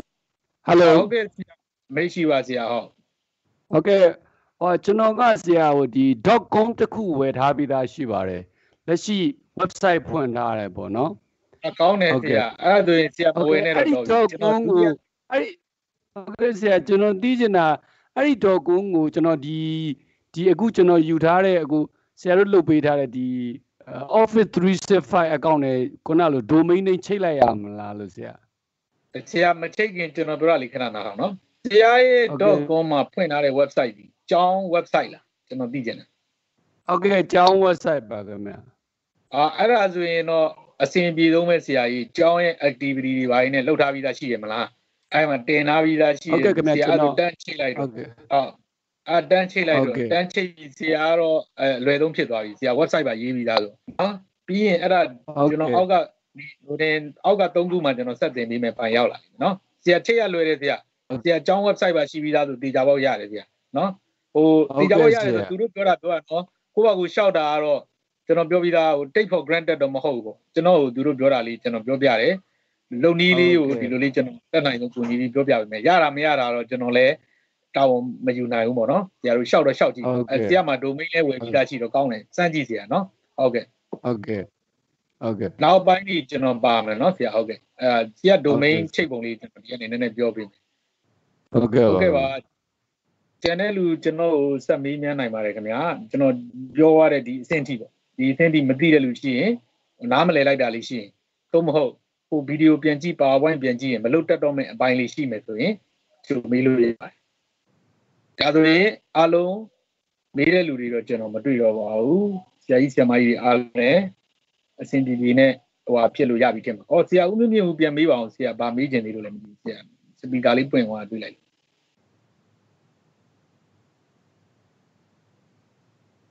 အော်ဟုတ်ပါပြီခင်ဗျာဒါဆိုရင်တော့မေးတဲ့လူမရှိတော့ဘူးတင်ပါလေဟိုကအော်ဟုတ်ဟယ်လိုပြီးပါဟုတ်ဟုတ်ခင်ဗျာဟိုကျွန်တော်ကဒီ domain ကတော့သူများရှိရဝယ်ထားတာဆိုတော့ဆရာအဲ DN နဲ့ချိတ်တာသူများကိုပဲအဲ့ဒီ company ကိုပဲခိုင်းရမှာပေါ့နော်အဲ ရတယ်ဆရာကျွန်တော်ကလည်းအဲ့လိုပဲလေ DNS ချိတ်တာအဲ့ဒီ company ကိုခိုင်းတာလွယ်လွယ်လေးပဲဆရာအဲ့ဒါသူတို့ကလုပ်ပေးလိမ့်မယ်ပြဆရာဘာမှတော့ပူပြမလို့အဲ့ဒါဆရာ365 account ဟိုဟာလေးဆက်ပေးလိုက်ရင်လွယ်လွယ်လေးဆရာဝယ်ထားတာဖြစ်တယ်လို့ service ပြအောင်ပေးလေနော်အဲ့လိုချိတ်ခိုင်းလို့ရဟုတ်ကဲ့ဟုတ်ကဲ့ဟုတ်ကဲ့အဲ့ဆိုရင်တော့ဆရာပူတော်ရှင်းသေးရနော်ကျွန်တော်တို့ဒီကတင်ထားတာဟုတ်ကဲ့လိုက်အဲ့တော့ကြည်ထားတာကောင်းပါတယ်ဆရာဘာလို့လဲသူတို့ချိတ်တဲ့နီးနဲ့ကျွန်တော်တို့ချိတ်တဲ့နီးနဲ့မတူဘူးလေ အဲ့လိုမျိုးနောက်ဆရာ DNS server ကိုဒီဘက်ပို့တင်လဲရတယ်ဒီအဲ့လိုမျိုးသူတို့ဟုတ်သူကဲ့တို့ကတော့ဘယ်လိုပြောမဲတော့မသိဘူးအဲ့တော့အဲ့ဒါဆိုရင်ကျွန်တော်ချိတ်ဆက်လိုက်ပါမယ်နော်ဟုတ်ကဲ့ကျေးဇူးပါဟုတ်ကဲ့ပါဆရာကြီး new လေးတစ်ချက်ပြန်လုပ်ပြီးတော့နော်ဆရာကြီးကျေးဇူးတင်ပါတယ်ကဲဒါဆိုရင်ကျွန်တော်တို့နောက်တစ်ခုလေး creating a website with free hosting ပေါ့ကဲဟုတ်ပြီတို့တွေ domain တွေလည်းဝယ်လိုက်ကြပြီနော်ဒေါ်လာတန်တွေလည်းဝယ်လိုက်ပြီ2ဒေါ်လာတန်တွေလည်းဝယ်လိုက်ပြီဟိုခုနလို edu.mm လည်းဝယ်ခြင်းဝယ်လိုက်မယ် edu.mm ဝယ်လို့ရှိရင်သူတို့ကဖုံးဆက်ပြီးတော့ DNS server တွေပါ DNS အဲဒီ control panel C panel တွေပေးပါလိမ့်မယ်အဲ့ခါကျရင်ဆက်ပြီးတော့ဆောင်ရွက်လို့ရပါတယ်အဲ့ဒီဆောင်ရွက်တဲ့နည်းကိုကျွန်တော်ဟိုတနေ့အသင်ပြီးပြီနော်ဟိုတနေ့ကကျွန်တော်ပြောရတဲ့ PowerPoint ထဲမှာပြန်ကြည့်ရင်ဟိုဘက်ဒီဘက် domain ချိန်လို့ရတယ်အဲ့တော့အခုကျတော့ဒါလဲဆိုတော့ creating a website with free hosting ကိုကျွန်တော်ဆက်ရှင်းပါမယ်အဲ့တော့ကျွန်တော်နည်းနည်းလေးပါဘောနော်မိကုံးလေးတစ်ခုမေးပြရတယ်တစ်ခုမတက်ခင် ဒီနေ့ပြောတာတနားရီတော့ရှိသွားပြီနော်ဟိုဆီယမကြီးအကြံပြုထားတဲ့အတိုင်းဆိုရင်တော့တနားရီလောက်ပဲအဲဆိုရင်အဆင်ပြေတယ်ပေါ့နော်အဲကျွန်တော်ဆက်ပြောလို့ချင်းအဆင်ပြေကြသေးရဲ့လားပေါ့မပြေဘူးဆိုရင်တော့လက်ကလေးထောင်ပေးလို့ရတယ်ကျွန်တော်နောက်တစ်ခုကလည်းနောက်နှစ်ခုကလည်းနည်းနည်းများတယ်နောက်တစ်တနားရီလောက်တော့ဆက်ပြီးသွားမယ်ဒီနေ့ကအဲ့ဒါဒီအကုန်ပြီးမှပဲဆရာကြီးဆရာမကြီးတွေစိတ်ကြိုက်အဲဟိုတဲ့ပေါ့နော်စီစဉ်ဆောင်ရွက်လို့ရမှာဖြစ်တယ်လို့ကျွန်တော်ကနည်းနည်းလေးနေအားလိုက်ပြရနော်ဒီနေ့တွေနောက်နေ့တွေကျရင်ကျွန်တော်နည်းနည်း short တင်ပြီအဲ့တော့ ဟုတ်ကဲ့ဟုတ်ကဲ့နော် new လေးတွေပြန်လို့ကြအောင်နော်အဲကျွန်တော်တို့ဒီမှာ creating a website with free hosting ကြတော့ဟုတ်လား domain ဝယ်ပြီးသွားပြီပေါ့နော်တကယ်တော့ပုံမှန်ဆိုရင် hosting တွေကပို့ပြီးတော့ဈေးကြီးတယ်ကျွန်တော်ပြီးသလောက်ဟိုဟိုရေပုံရအားဖြင့်ပြောတာပေါ့နော်အဲ hosting တွေကိုကျွန်တော်တို့ကအမှားပေါ့နော်100 MB တို့ဘာလို့ဝယ်ကျွန်တော်တို့ဒီပြောတဲ့ free hosting ကကြတော့100 MB ပဲရတယ်ခုနဆရာဦးမျိုးမင်းလားခုနကကျွန်တော်မေးကိုမေးတဲ့ဆရာကျွန်တော် तू ကပူတော့မိုက်တယ် သူကတည်းကဘာဖြစ်လို့ तू က website ဝယ်ကြီးတာရှိတာကိုရှိတဲ့အခါကျတော့ तू က hosting မှာရပြီလားကျွန်တော် hosting အတွက်ကျွန်တော်ကပတ်စံဆရာကြီးကိုပေးရရမလို့ကျွန်တော်ကြတော့ hosting ထပ်ဝယ်ရအဲ့တော့ကျောင်းရဲ့ကျွန်တော်တို့ရဲ့ purpose ကိုကဗျာတစ်ကဟို shopping လုပ်မဲ့လူလည်းမဟုတ်ဘူး online shopping company ထောင်မဲ့လူလည်းမဟုတ်ဘူးလာအကြီးကျွန်တော်တို့ဒီဘက်မှာ hosting ကလည်းကျွန်တော်တို့ Microsoft ကလည်းရအောင်မဲ့ hosting တွေကလည်းရှိရတယ်မဝယ်တော့အလကားရတဲ့ website လေးကိုဖန်တီးလိုက် ပြီးရင်ကျွန်တော်တို့ဝယ်ထားတဲ့ domain နဲ့ချိန်ချိန်ပြီးသွားလို့ရှိလို့ရှိရင်ကျွန်တော်တို့ကကျောင်း website လေးရပြီကျွန်တော်တို့လုပ်တာအဲ့လိုလုပ်ခဲ့တယ်ပြီးတော့ကျွန်တော် Microsoft ကိုပြလိုက်တယ်အေးတို့ကျောင်းကလေဒီလိုတွေလုပ်နေတယ်မင်းကြည့်လိုက်အဲ့ဒါငါ့ကိုအဲ့ဒါလေး account လေးတွေရအောင်ပြီးပြီးပါအဲ့လိုချက်เนาะကျွန်တော်ကအဲ့လိုဆိုတော့ကကျွန်တော်တို့အဲ့လိုသွားတဲ့နည်းလမ်းလေးပြောပြပါမယ်ဟောနောက်ဆုံးအဆင့်ရောက်ပါကျွန်တော်ဒီဟာတွေကို PowerPoint နေတင်ထားပြီးပါပြီဒုတိယကျွန်တော်ရဲ့ lesson ဘိုင်းကိုတော့ကျွန်တော် PowerPoint နဲ့မသွားတော့ပါဘူး PowerPoint နဲ့သွားလို့လေအဆင်မပြေဘူးပေါ့နော် အဆင်မပြေတာဖြစ်တဲ့အတွက်အဲ့တော့ဒီမှာဆက်လေးတော့ပြလိုက်ပါမယ်နော်ကျွန်တော်ခဏလေးတစ်ချက်ကြည့်ပါကျွန်တော်ဒီမှာ quiz တီတော့ကျွန်တော်မတင်ရသေးဘူးเนาะဒီနေ့တော့ဘာဖြစ်လို့လဲဆိုတော့ကျွန်တော်အဲသင်ခန်းစာပြင်ဆင်တာရောနောက်စမ်းဝယ်ကြည့်နေတာတွေရောအများများဒီမှာ CINI ဆရာဦးနိုင်ဝင်းတို့ lecture အဲ့တော့ကျွန်တော်ဆက်ပြီးတော့တင်ပေးပါမယ်ကျွန်တော်ဒီအပိုင်းအလုပ်တွေများနေလို့ပါ now how to build a office 365 education tenant for free အဲ့ဒါလေးရေဒီမှာဒီဒီဒီဒီဟာလေးကျွန်တော်ထပ် link ချိန်ပြီးမယ်ဒါလေးနှိပ်လိုက်လေရနောက်ပြီးသွားရင်အဲ့လိုမနှိပ်ချိန်ဒီမှာ buying domain ဒီနေ့သင်ခန်းစာနော်ဒီနေ့သင်ခန်းစာဒီ buying domain ပေါ့ buying domain day 6ဒီနေ့ကျွန်တော်တို့ LMS သင်တဲ့ day 6ဒီမှာခုနက PowerPoint တွေကျွန်တော်အကုန်တင်ပေးထားပါတယ်အဲ့ PowerPoint ဒီမှာခုနကတော့ကျွန်တော်ပြီးခဲ့တဲ့ link လေးတွေဒီချိန်ကြီးတို့ဒီကနေဝင်နှိပ်လိုက်ကြတယ်နော်အဲ့ဆိုရင်အားလုံးအဆင်ပြေနေတယ်ထင်ပါကျွန်တော်ဤပြည်စုံစုံလေးဖြစ်အောင် အဲ့ PowerPoint တွေကိုလိုချင်လို့ရှိရင်လည်းကျွန်တော်ဒီဘက်ကပိုင်တက်တယ်မှာလေထည့်ပြီးပါလို့ကျွန်တော် request လုပ်ထားတဲ့ဒီချိန်ကြီးတယောက်ကျွန်တော်တွေ့ပါတယ်ကျွန်တော်ဒီနေ့သင်ခန်းစာပြီးပြီးချင်းကျွန်တော်တင်ပြတာကိုကြိုးစားပါမယ်နောက်နေ့တွေရောက်ရင်တော့ဒုတိယနေ့လောက်ရောက်ရင်တော့ဒီနေရာမှာလာပြီးတော့ SK လို့ရတယ်လို့ဒီ element post ထဲမှာလည်းကျွန်တော် quiz လေးကိုမနှက်ဖြန်သူမဟုတ်ဘက်ကောင်မှာကျွန်တော်တင်ပြပါမယ်ခင်ဗျာအဲ့တော့ကျွန်တော်တို့ free website တခုဘယ်လိုတည်ဆောက်မလဲအော်အဲ့ဒါနဲ့ပတ်သက်လို့ကြိုပြောဦးမယ်ခဏနော် အဲ့တော့ကျွန်တော်ဒီနေ့တင်မဲ့သင်ခန်းစာရဲ့အနှစ်ချုပ်နော်အဲ့ဒီအနှစ်ချုပ်တွေကဒီမှာရှိတယ်အဲ့ OCN element ရဲ့ home မှာ home ထဲမှာဆို how to build a free website with Google hosting လို့တွေ့လားအဲ့ဒါလေးနှိပ်လိုက်လို့ရှိရင်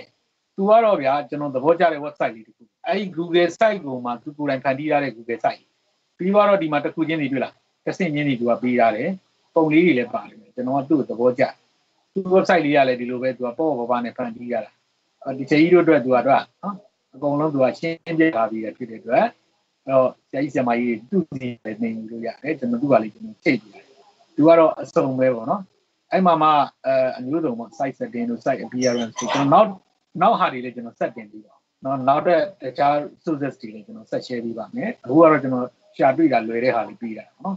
ဟိုကျွန်တော်တင်မဲ့ဟာကိုသူတင်ပေးရတာကျွန်တော်တင်ပါပြီစပြီနော်နည်းနည်း20လောက်ပဲကြာပါ နော်အဲ့ဒါအရင်လွယ်အော်ဇိုင်းဇမာကြီးတို့ Chrome နဲ့ဝင်လိုက်တာနော်အားလုံးလိုက်လို့လိုက်နော်အားလုံးလိုက်လို့လိုက်ဖုန်းလေးတွေနဲ့လိုက်လို့ရဖုန်းလေးတွေနဲ့လိုက်လို့ရတယ်ဒီကတော့တော်တော်လေး Chrome တော့မဟုတ်ရတယ်ဘယ် browser ဖြစ်ဖြစ်ရတယ်နော်အဲ့တော့ဘယ် browser မဆိုရပါတယ်သူကတော့တော့လေးအဆင်ကြီးတဲ့ထဲမှာပါဘယ် browser မဆိုကျွန်တော် browser လေးပိတ်လိုက်မယ်ဗျာနော် browser လေးကျွန်တော်ပိတ်လိုက်ကျွန်တော်ဒီက Firefox လေးနဲ့ပြန်ဝင်လာ ဒီချိန်ကြီးကိုကြိုက်တာသုံးလို့ရတယ်နော်ဘယ်ဘယ်အမသုံးလို့ရဒီကဘာပြဿနာမှမရှိဘူးဟိုကတော့တော်တော်လေးလွယ်ကူသုံးမွေးတဲ့ဟာဖြစ်တယ်နော် Firefox ဖွင့်လာတခါလေးလိုက်လို့နော်ဒါလေးကအရန်လွယ်တယ်လိုက်လို့ရင်ဒီလိုမှတ်ပြီး Firefox ဝင် Firefox ဖွင့်လဲရတယ် update တောင်းရင်တော့ update မလုပ်ကြနဲ့ဘူးเนาะသူကတော့ကြာနေ download သွဲတဲ့ကြာနေမှာဆိုလို့အဲ့တော့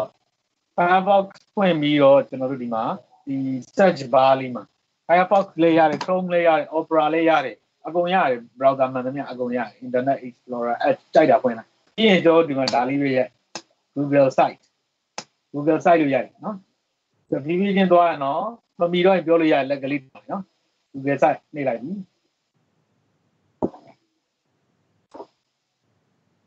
အားလုံးပဲကျွန်တော်ရဲ့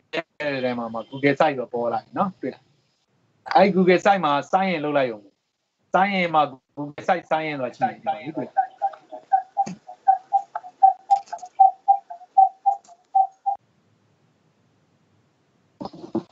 ဝ Google site စာရင်နေလိုက်ရင်ကို Gmail ကိုထည့်လိုက်ရုံပဲเนาะ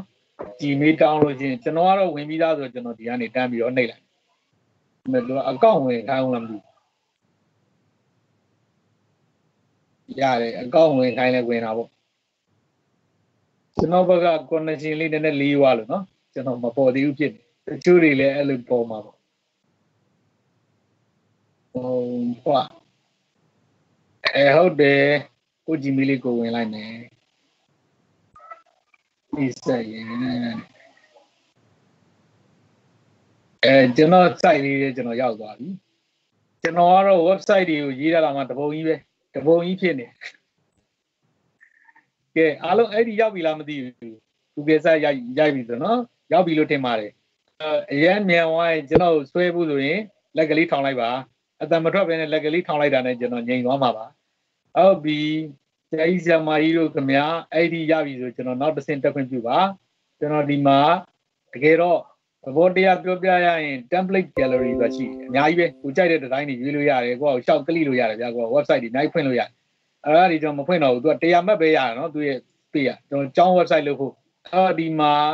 ကျွန်တော်ဒီဟာလုပ်ပါပြီ blank လေးပဲနှိပ်လိုက်ပါမယ်နော် blank လေးပဲကျွန်တော်နှိပ်လိုက်ပါအဲ့ဒါလေးရတော့ကို free ဖြစ်တာပေါ့ပို့ပြီးတော့ကိုလိုချင်တဲ့ဟာလုပ်လို့ရတယ်နော်အာကျွန်တော်ဒီမှာ Google site ကို free လုပ်လိုက်ပါပြီ အဲ့တော့လုပ်လိုက်ပြီဆိုတာကျိုင်းကျမကြီးကို website တစ်ခုပိုင်ဆိုင်ပါပြီအဲ့ကျွန်တော်ကတော့ကျွန်တော်ရဲ့အကြောင်းကိုကျွန်တော်ကပြပြီးတော့အဲ Microsoft ကိုကျွန်တော်က line တွေနေတောင်းကျင်တဲ့လူဖြစ်တဲ့အတွက်ကျွန်တော် OMS တောင်းဖြစ်တယ်လी LMS ကူပေါ့ဗျာကျွန်တော်ရဲ့အကြောင်းလေးကိုရိုက်လိုက်မယ် LMS ကူလေးရိုက်လိုက်ပြီ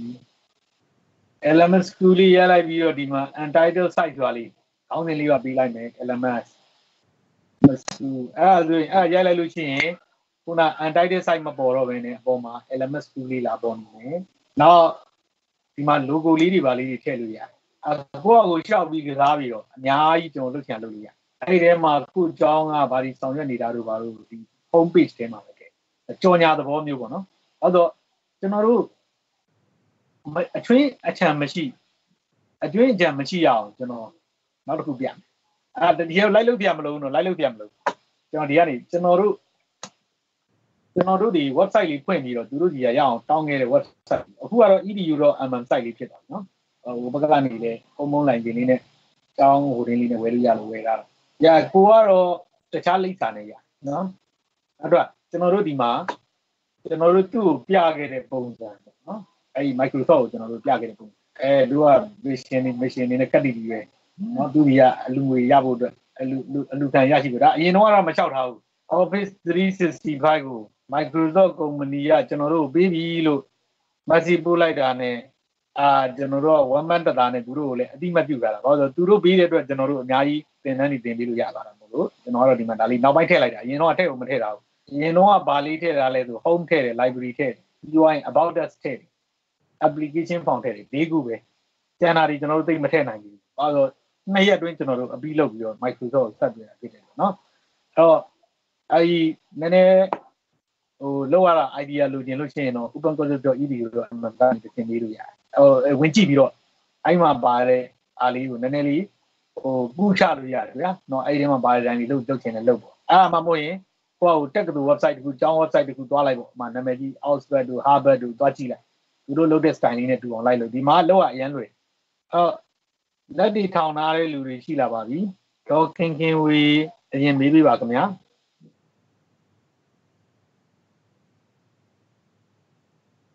ဒီချက်ကျမကြီး .in .kin ခင်ဝေမေးပေးပါ new ဖြစ်တာလေးကို unmute လုပ်ပြီးမေးပေးလို့ရပါတယ်ကျမကြီး .kin ခင်ဝေမေးရခက်နေသေးရင်ကျမကြီး.ငိမ့်သက်ဆွေမေးပေးပါခင်ဗျာလက်ထောင်ထားတာတွေးလို့ပါခင်ဗျာဟုတ်ကဲ့ဆရာ ဟိုဟာလေ Google site ကိုဝင်တာလေဒီလိုမျိုးအဲ့လိုအကွက်ကလေးတွေပေါ်မလာဘဲနဲ့ to create or edit a site go to Google site on your desktop အဲ့လိုကြီးပဲပြပြောနေတယ်ကျမကြီးဘယ် browser နဲ့ဝင်လာလဲခင်ဗျာ browser ကနေဝင်လိုက်တာအဲ့လိုပဲဟုတ်ပြီကျမကြီးကျမကြီး device နှစ်ခုလုံးဖွင့်မထားနဲ့နော်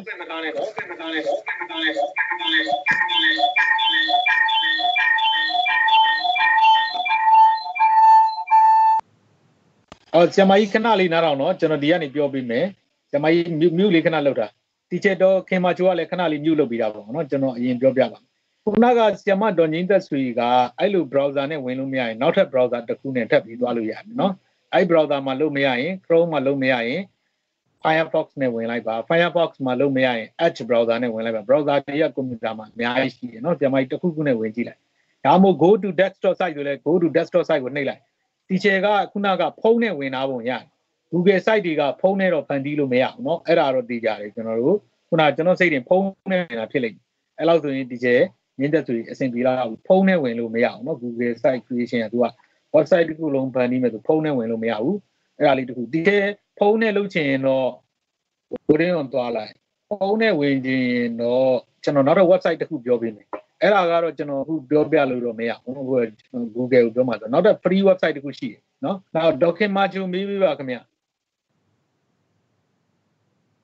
ဟုတ်ကဲ့ကျမလည်းအဲ့လိုပါပဲခုနဆရာမတိုင်းမဖြစ်နေလို့ပါရှင်ဖုန်းနဲ့ဝင်တာပါဟိုဖုန်းနဲ့မရဘူးဆီယမတို့နော်ဖုန်းနဲ့မရဟုတ်ဖုကဲ့န်းပါနဲ့မရနော်ဟုတ်ဖုန်းနဲ့ဆိုရင်ဆီယမကြီးတို့ကျွန်တော်အခု website လေးခဲ့ခဲ့ပါလိကျွန်တော်ပြောလိုက်ပါဒီကိုကျွန်တော်နာမည်မေ့နေလို့အဲ့ဒီဖုန်းနဲ့ join လို့ရတဲ့ဟာကြတော့ အာဟုတ်ပြီကျွန်တော်မှတ်မိပြီဆီယမကြီးတို့ကန်ကောင်းသွားပြီနော်ဖုန်းသမားတွေအတွက်ကတော့အရန်လွယ်ပါတယ်နော်ဖုန်းသမားတွေဖုန်းတွေကကြတော့ Google နဲ့ create မလုပ်ပါနဲ့နော်ဖုန်းသမားတွေနဲ့ဖုန်းနဲ့ပဲလုပ်ချင်တဲ့လူတွေအတွက်ပြောတာနော် w e e l y weebly.com ဆိုတာရှိတယ်အဲ့မှာကိုက create လို့လို့ရတယ်နော်အဖုန်းနဲ့လုပ်မယ်ဖုန်းနဲ့ပဲလုပ်လို့ရတယ်ဆိုတော့ဖုန်းနဲ့ပဲ website လုပ်ချင်ရင်အဲ့ weebly.com ကိုသွားလုပ်လို့ရတယ်နော်သူကကြတော့ custom domain name ကို ကျွန်တော်ခုနကတော့လို့ teacher ကြီးတို့ domain နဲ့ချိန်မယ်ဆို4ဒေါ်လာပေးရအဲ့လိုမဟုတ်ဘဲနဲ့ teacher တို့ကဒီတိုင်းပဲဆိုဥပမာပေါ့နော်ကျောင်းနာမည်ပေါ့ www.lms.weebly.com နော်အကျွန်တော်ဟိုတစ်ချက်လောက်မြုပ်လေးပြန်လုပ်ပြပါနော်ဘေးပြီးတော့ဟုတ်ပြီနော်အဲ့တော့အဲ့ဒီမှာ lms.weebly.com အဲ့လိုမျိုးလေးရှောက်လို့ရတယ်။ तू ကလည်းတော်တော်လှလှပပလေးပဲနော်။ အဲ့ဒီ weebly.com ကနေဝင်ပြီးတော့ account ဖွင့်ပြီးကိုယ့်ဘာကို website create လုပ်လို့ရတယ်။အဲ့ဒါကျွန်တော်အပြည့်စုံသင်ပေးဖို့လည်းပဲမတက်နိုင်ဘူး။ teacher တို့ဖုန်းနဲ့လုပ်ချင်တယ်သူကိုယ့်ဘာကို internet မှာ how to create a website နော် website တစ်ခုကို weebly.com ကနေဘယ်လိုလုပ်မယ်ဆိုတာကိုရိုက်ပြီးရှာလိုက်လို့ချင်းအရန်လွယ်ပါတယ်နော်အဲ့ကြည့်ပြီးလုပ်လို့ရတယ်နော်ဟုတ်အဲကျွန်တော်တစ်စင်လေးမသွားခင် digital မှာမြင်ရတော့နောက်ဆုံးလေးမေးပြီနော် digital မှာမြင်မေးပါခင်ဗျာ weebly.com နော်ဖုန်းသမားတွေကအဲ့ရနေဝင်ကလီလို့ရတယ်ဟုတ်ဆရာ အခုကျမဟိုဟာ password ဟိုဟာဝင်ပြီးတော့လေအဲ့ဟိုဟာဝင်ပြီးတော့ကျမဒီဆရာဒီမှာအကောင့်ရေးတာမှားတော့နောက်တစ်ခါပြန်ဖြည့်လဲတော့ဆရာပြောတာနည်းနည်းကြော်သွားတော့လေမမီလိုက်လို့ဆရာကျမအုံပဲရောက်သွားဆိုအဲ့ဆိုင်ရဲ့ site ဆိုရောက်သွားခင်ဗျာကျမဖွင့်လိုက်တာလေအမဟုတ်ဆရာမဒီမှာကျွန်တော်ပြမယ်ကျွန်တော်ပြပေးမယ်ကျွန်တော်ပြပြီးတာလေးတစ်ချက်ပြန်ကြည့်နော်ဒီမှာဒီမှာတွေ့လာမှာ new tab မှာ Google site လို့ရိုက်ထည့်လိုက်နော် ဒါပဲဘာမှလုပ်ပြမလို့ Google site ကို Google ကိုဝင်တာပဲလေ Google site ရိုက်ရိုက်ပြီးသွားရင် sign in လုပ်တဲ့ခါကျရင်ကို Gmail account ရိုက်ခိုင်းရင် तू က site ထဲရောက်သွားလိမ့်မယ်နော်ဟာအော် site ဟို site ကိုရောက်သွားတော့ဟုတ်ကဲ့ဆက်လို့အဲ့ကဝင်ပြီးတော့လေအဲ့လိုဖိုင်အဲ line ရောက်သွားပြီဟုတ်တယ်မလား line ရောက်သွားပြီမလားဟုတ်အဲ့ကဲ့ဒါပဲလေအဲ့ဒါပဲလူကလေအဲ့ဒီပဲရောက်သေးရလေကျွန်တော်တို့ကအဲ့မှာမှ အဲ့မှာမှဒီမှာတွေ့လာဒီမှာ LMS school တို့ကိုယ့်အကူကိုကြောင်းနာမည်ကိုကြိုက်တာပေးရုံပဲလीနော်ဟုတ်ဟောကဲ့ဒီ search ဆိုတဲ့စာမှာရေးရမှာပါနော်ဆရာဟမ်အဲ့မော်ဒီမှာလေဒီနေရာလေးဒီမှာရေးလို့ရတယ်လေသူကရေးစရာကြီးပုံပေးပြီးတာလေဟောဟောဟောဟောဒီဒီမှာ untitled site ဆိုဒီချက်ရောက်သွားရင်ဒီမှာ your page title ရေးပေးပါ under site နဲ့ရေးပေးပါဟုတ်တယ်မလားဒီမှာကိုဝင်ရေးရုံပဲလीနော်အဲ့ဒါဒီချက်ရှင်းပြီလားမသိဘူးနော်သူကလွယ်လွယ်လေးပဲသူကကို Google လေးနဲ့ဖန်ပြီး sorry ခေါ်လို့ဆရာ Google Drive ခင်ဗျာ Trans has changed ဆိုပြီးတော့အဲ့ site ရေးမှာလေဟောတော့ဟောဘာမှမဖြစ်ဘူးအဲ့ဒီသူ့ရဲ့ဥစ္စာတွေရဲ့ပြန်မကြီးကို Google site ရဲ့ဒီ drive ရဲ့ policy တွေဒီလိုရှိတယ်ဆိုတော့ notification တက်တာပဲလေဒီချက်သူဒီချက်ကိုပြောတဲ့ message ကအဲ့ဒီ trash policy လေးပြောင်းသွားပါတယ်အဲ့ဒါလေးကိုသိအောင်ကျွန်တော်တို့သိပေးတာပါဒါလည်းအဲ့လိုမျိုးလေးတွေအများကြီးပေါ်တာပဲကိုယ့်ဘာကိုစာဖတ်ကြည့်လိုက်ရင်အဲ့ဒါချင်းချင်းလေးပဲသူကလေ သူ့ရဲ့ Google ကသူ့ဘာသူ notification တက်နေရဒီချက်ဒါနဲ့မဆိုင်ဘူးပြနော်ဟုတ်ကဲ့ဟောအဲ့ဆိုရင်အဲ့ဒီဒီမှာအဲ့ search ရင်မှာစာရေးလိုက်ရမှာဟောဆရာ blank နေရာမှာစာရိုက်ရမှာလား blank blank ကိုနှိပ်လိုက်ရင်ရပြီလေကျွန်တော် blank ကိုနှိပ်လိုက်ရင်ဒီမှာ entire site ကိုရောက်လာပြီဩအော်ဟောဟောဟောဟောဟောဆရာရောက်ပါပြီကျေးဇူးတင်ပါတယ်ဟုတ်ပါပြီကဲအဲ့ဒါဆိုရင်နောက်တစ်ယောက်မေးမယ်နော်ဒေါခင်နင်းပြူမေးပေးပါအောင်ဟုတ်ကဲ့။ ပြကျမတို့ခုသိချင်တာကလေအခုကျမကနာမည်တစ်ခုပေးမယ်ပေါ့နော်။အဲဒါဆိုအဲ့ဒီနာမည်ကိုနောက်ထပ်ပြောင်းလို့ရသေးလားပေါ့။အဲ့ဒါလေးသိချင်ပါတယ်ဆရာအဲ့ဒါကတော့ရတယ်ရတယ်ဒီကရတယ်။အော်ဟုတ်ကဲ့ပါဆရာ။အဲဒါဆိုအခုလောလောဆယ်နာမည်တစ်ခုပေးပြီးလို့ရှိရင်နောက်ကျမကပြောင်းမယ်ဆိုရင်လည်းရတာပေါ့နော်ဆရရာပါတယ်ရဟုတ်ဟုတ်ဒီအားလုံးပဲကျွန်တော်တို့နောက်တစ်ဆင့်သွားမယ်နော်ကျွန်တော်ဒီအဆင့်လုတ်ပြီးမှပဲကျွန်တော်ကိုထပ်ပြီးတော့မေးကြတာနော်အဲတော့အဲ လူတွေအများကြီးမတင်လိုက်ရမှာဆိုနော်ကျွန်တော်အချိန်သိမရတော့အဲ့ဒီဒီဟာလေးတော့ပြီးမှကျွန်တော်တို့ကဒီချိန်ကြီးတို့ domain တွေချိန်တာလေးကျွန်တော်ဆက်တင်ပေးခြင်းနော်အရေးကြီးတာရှိအဲဒီမှာဒီလောက်ဆိုရင်ကိုယ်နာမည်ရပြီ LMS ကူရပြီနော်အောက်မှာဘာတွေထည့်လို့ရလဲကျွန်တော်အသေးသေးအနှစ်ချုပ်ပြီးပြောပြအလေးတွေကြတော့ကိုယ့်ရဲ့ကြောင်းမှာလည်း create လုပ်လို့ရတယ်နော်အဲ့ဒါလေးတွေက Moodle class အနေနဲ့သုံးတဲ့ဟာမျိုးမှာလည်းသုံးလို့ရတယ်အဲ့ဒါကိုတီးတန်းကျွန်တော်တရက်ထပ်တင်ပေးပါမယ်အခုလောလောဆယ်ကတော့ ကျွန်တော်ဒီမှာပြထားတဲ့ open courses မြန်မာလိုဟာမျိုးရိုက်လို့ရဟုတ်ပြီဒီမှာခေါင်းစဉ်လည်းပေးပြီးပြီဒီတစ်ဆင့်တော့တူပါပြီဟုတ်ပြီနောက်တစ်ခုဒီမှာဒီဟာလေးပဲဆိုပါတော့ဗျာကဲကျွန်တော်တို့ဒီဟာလေးပဲကူးထည့်လိုက်အဲ့ဒါလေးကိုဒီမှာလာထည့်စာထည့်တော့နော်ထည့်ဒီဆိုတာမြန်မာလိုဆိုထည့်ဒီအင်္ဂလိပ်လိုဆိုရင် insert ဒါပဲကျွန်တော်ထည့်ချင်တာစာအင်္ဂလိပ်လိုဆို text box ကျွန်တော်ထည့်ချင်တာပုံအင်္ဂလိပ်လိုဆို images ဒါပဲလေဒီမှာသူ့ရဲ့ logo နဲ့ဒီမှာဒီမှာဆိုလို့ရှိရင်လည်းဒီမှာ ပုံလေးနဲ့ဗာနဲ့လေးအောက်လေးနဲ့သူထည့်ချင်တာနဲ့တွေ့ရတယ်တခြားထည့်ချင်တာတွေအများကြီးထည့်လို့ရတယ်ကိုပေါ့ like စမ်းကြည့်လိုက်ကျွန်တော်ဒါတော့အသေးသေးကျွန်တော်မပြောတော့เนาะအဲ့မှာလုပ်เสียရတယ်အများကြီးပဲလုပ်လို့ရအဲကျွန်တော်ဒီမှာ test box လေးကျွန်တော်နှိပ်လိုက်နှိပ်လိုက်တဲ့ခါကျကျွန်တော်ခုနကဗျ open concept ကနေကျွန်တော်ဒီမှာသွားကူးထည့်ကျွန်တော်ရဲရတာပြင်းလို့ကိုเจ้าเจ้าကတော့ကိုယ့်ဘာကိုအင်္ဂလိပ်လိုနဲ့ Unicode နဲ့ကြိုက်တာရိုက်လို့ရရိုက်ပြီးွားရင်ဒီမှာကျွန်တော်တို့ဘာမှလုပ်ပြမလို့ပါဘူးဒါတွေ့တွေ့တယ်မှာဟိုဗာလဲ Microsoft Word ရိုက်တတ်တဲ့လူဆိုအကုန်လုံးဒါရှင်းရှင်းလေးပဲ ဘာမှသိပ်ပူရမလို့ဒီမှာတိုက်တယ်နော်ကိုအကြောင်းအကြောင်းဒီမှာ test box လေးတွေတခုတခုချပြီးရေးလို့ရတယ်ကဲပုံထည့်မယ်ဟုတ်ပြီကိုအကြောင်းပုံလေး upload လုပ်မယ် upload လုပ်ပြီးတော့ဒီမှာရှာမယ်ဗျဘယ်ကထည့်မယ်ကျွန်တော်ကိုအကြောင်းပုံလေးပေါ့ကျွန်တော်ဥပမာပြောပြမယ်ဆိုရင် picture လေးရတော့ကြည့်လိုက်နော် download ထဲမှာဟုတ်ပြီ download ထဲမှာကျွန်တော်ပုံလေးတစ်ပုံထည့်ရမယ်ဗျကိုအကြောင်းပုံပေါ့ဟုတ်လားကိုအကြောင်းပုံလေးထည့်လိုက်ရောအာဒီမှာအကြောင်းပုံလေးပေါ်လာလိမ့်မယ်အဲ့ဒီဟာလေးကိုလိုတဲ့ file လုပ်လို့ရတယ်ဒါ Microsoft Word သုံးတာနဲ့အတူတူပဲနော် အဲ့ဒါတော့ကျွန်တော်အသေးစိတ်ရှင်းပြမယ်ဆိုရင်တော့ဒါက basic သင်တန်းမှာအကုန်လုံးဒါလေးကြီးလည်းအကုန်လုံးသိလောက်နော်ဒါကျွန်တော်မပြောတော့ဘူးတချို့တွေအရင်အချိန်ပြီးွားရင်ဒါဆိုပရမ page ပြီးွားပြီအော်ဒီနေရာလေးမှာ change image ဒါလည်းကလီလို့ရတာပဲကျွန်တော်ကတော့သူတို့ပေးပြီးသားဟာလေးသုံးတယ် copyright နဲ့မညှိအောင်ဆိုပြီးတော့ဒီမှာ search လုပ်တဲ့နေရာမှာရိုက်တယ်ပေါ်လာတဲ့ဟာမှန်သမျှကနော်သူက commercial reuse with modification ဆိုတော့ तू က copyright မညှိတဲ့ပုံတွေပဲကြာတယ် အပြင်မှာကိုယ့်ဟာကိုယ် website ဖန်တီးရင်တော့မှကို copyright နဲ့ပုံမြင်ညှိနိုင်ကြီးဒီတွေကပုံသုံးရင်ကျွန်တော်တို့က copyright မညှိဘူးဒီမှာရှာတယ်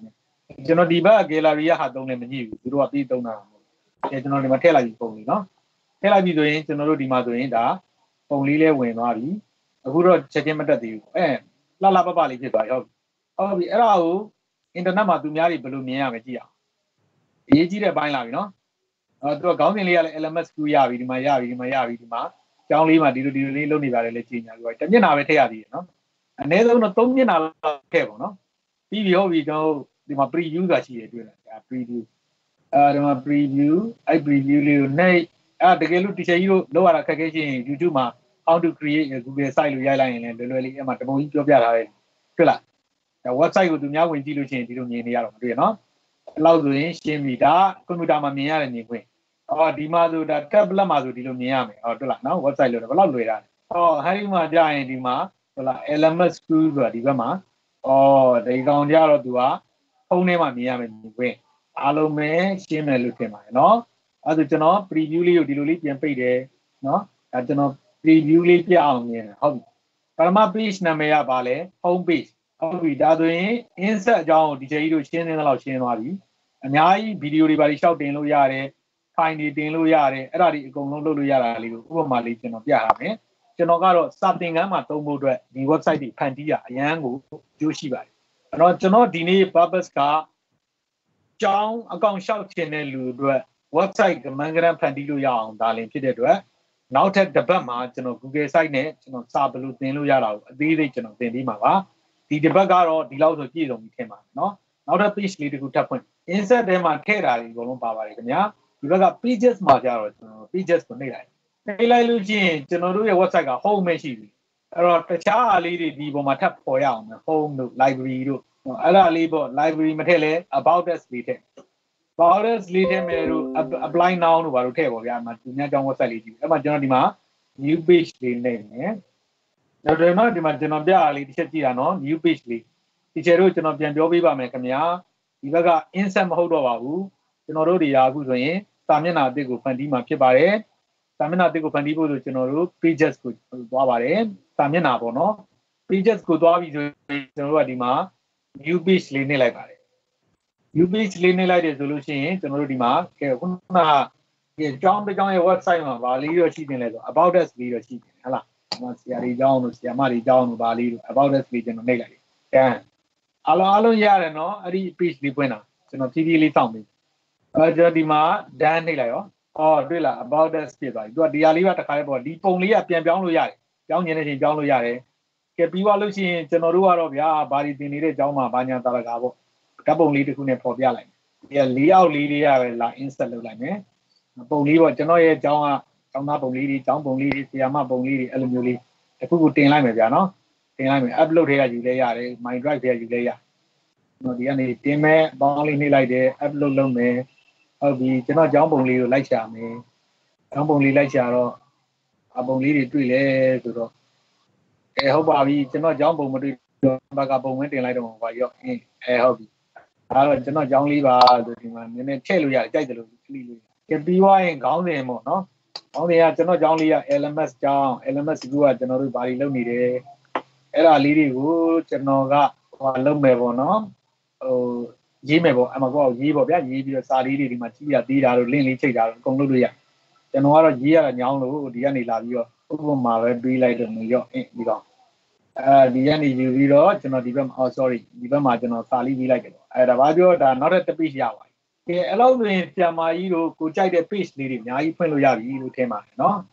ပြီးသွားလို့ချင်း apply your course here တို့ဘာလို့နှိပ်ထားပေါ့ကိုကျောင်း website တွေ active ဖြစ်အောင် ကိုကျောင်းမှာဘာတွေလုပ်နေလဲဆိုတာကိုဒီချာလေး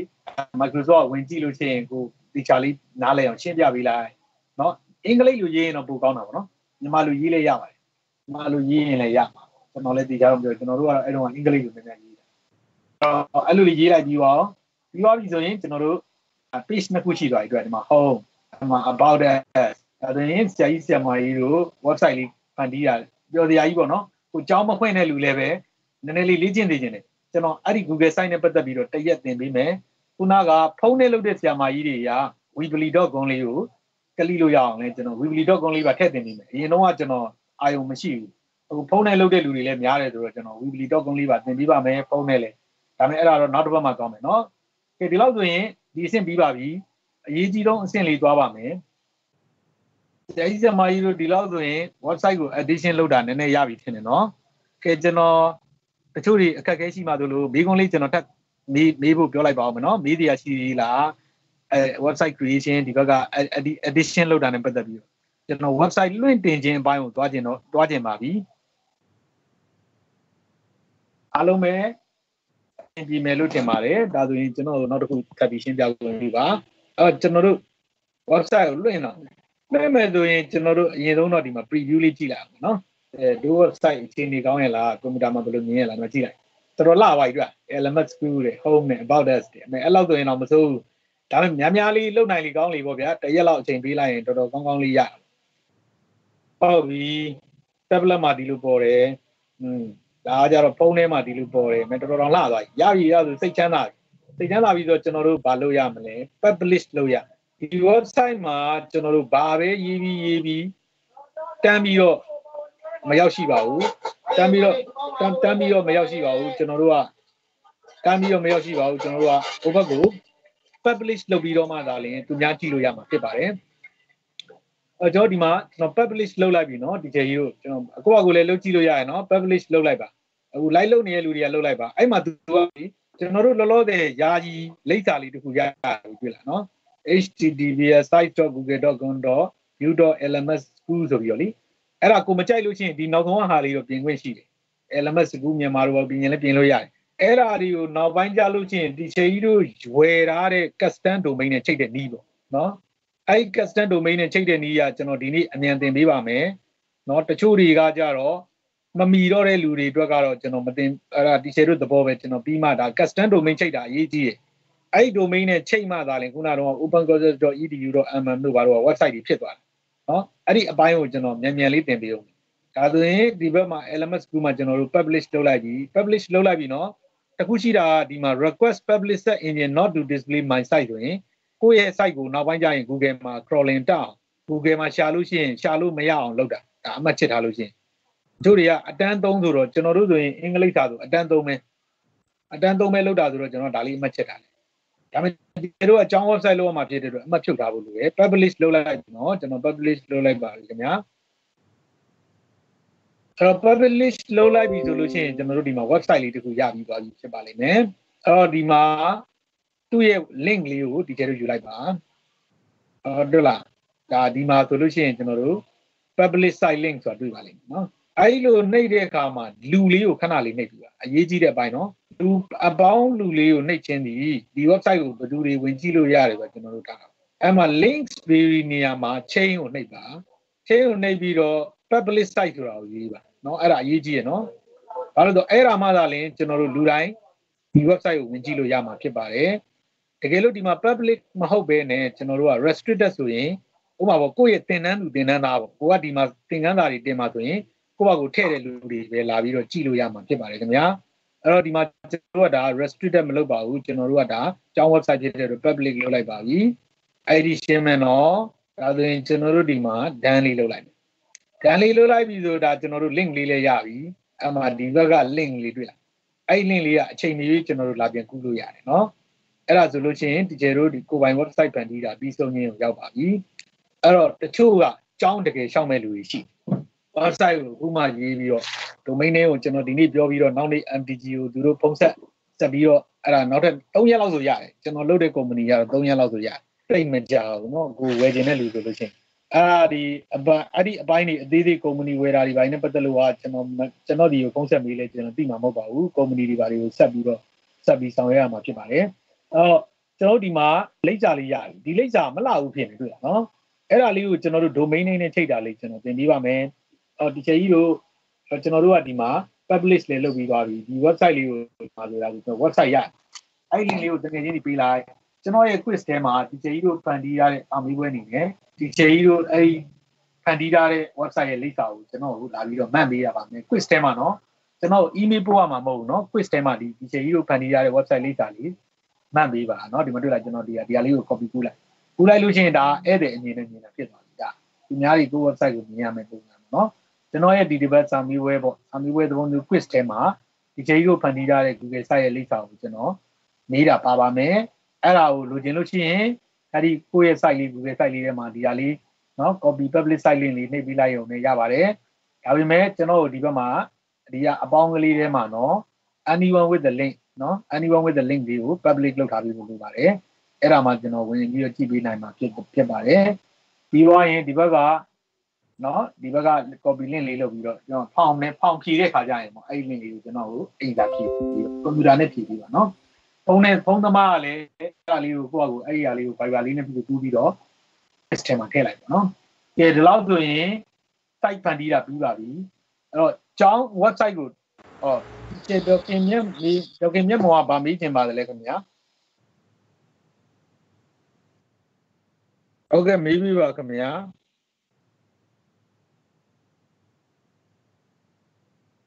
ဟယ်လိုဒီကြီးမေးလို့ကျွန်တော်တို့အတန်မကြားရပါဘူးခင်ဗျာအဲကျွန်တော်တို့နောက်တစ်ခုလေးကျွန်တော်ဆက်လိုက်မယ်နော်ဒီကြီးအတန်ကျွန်တော်တို့မကြားလို့ပါခင်ဗျာ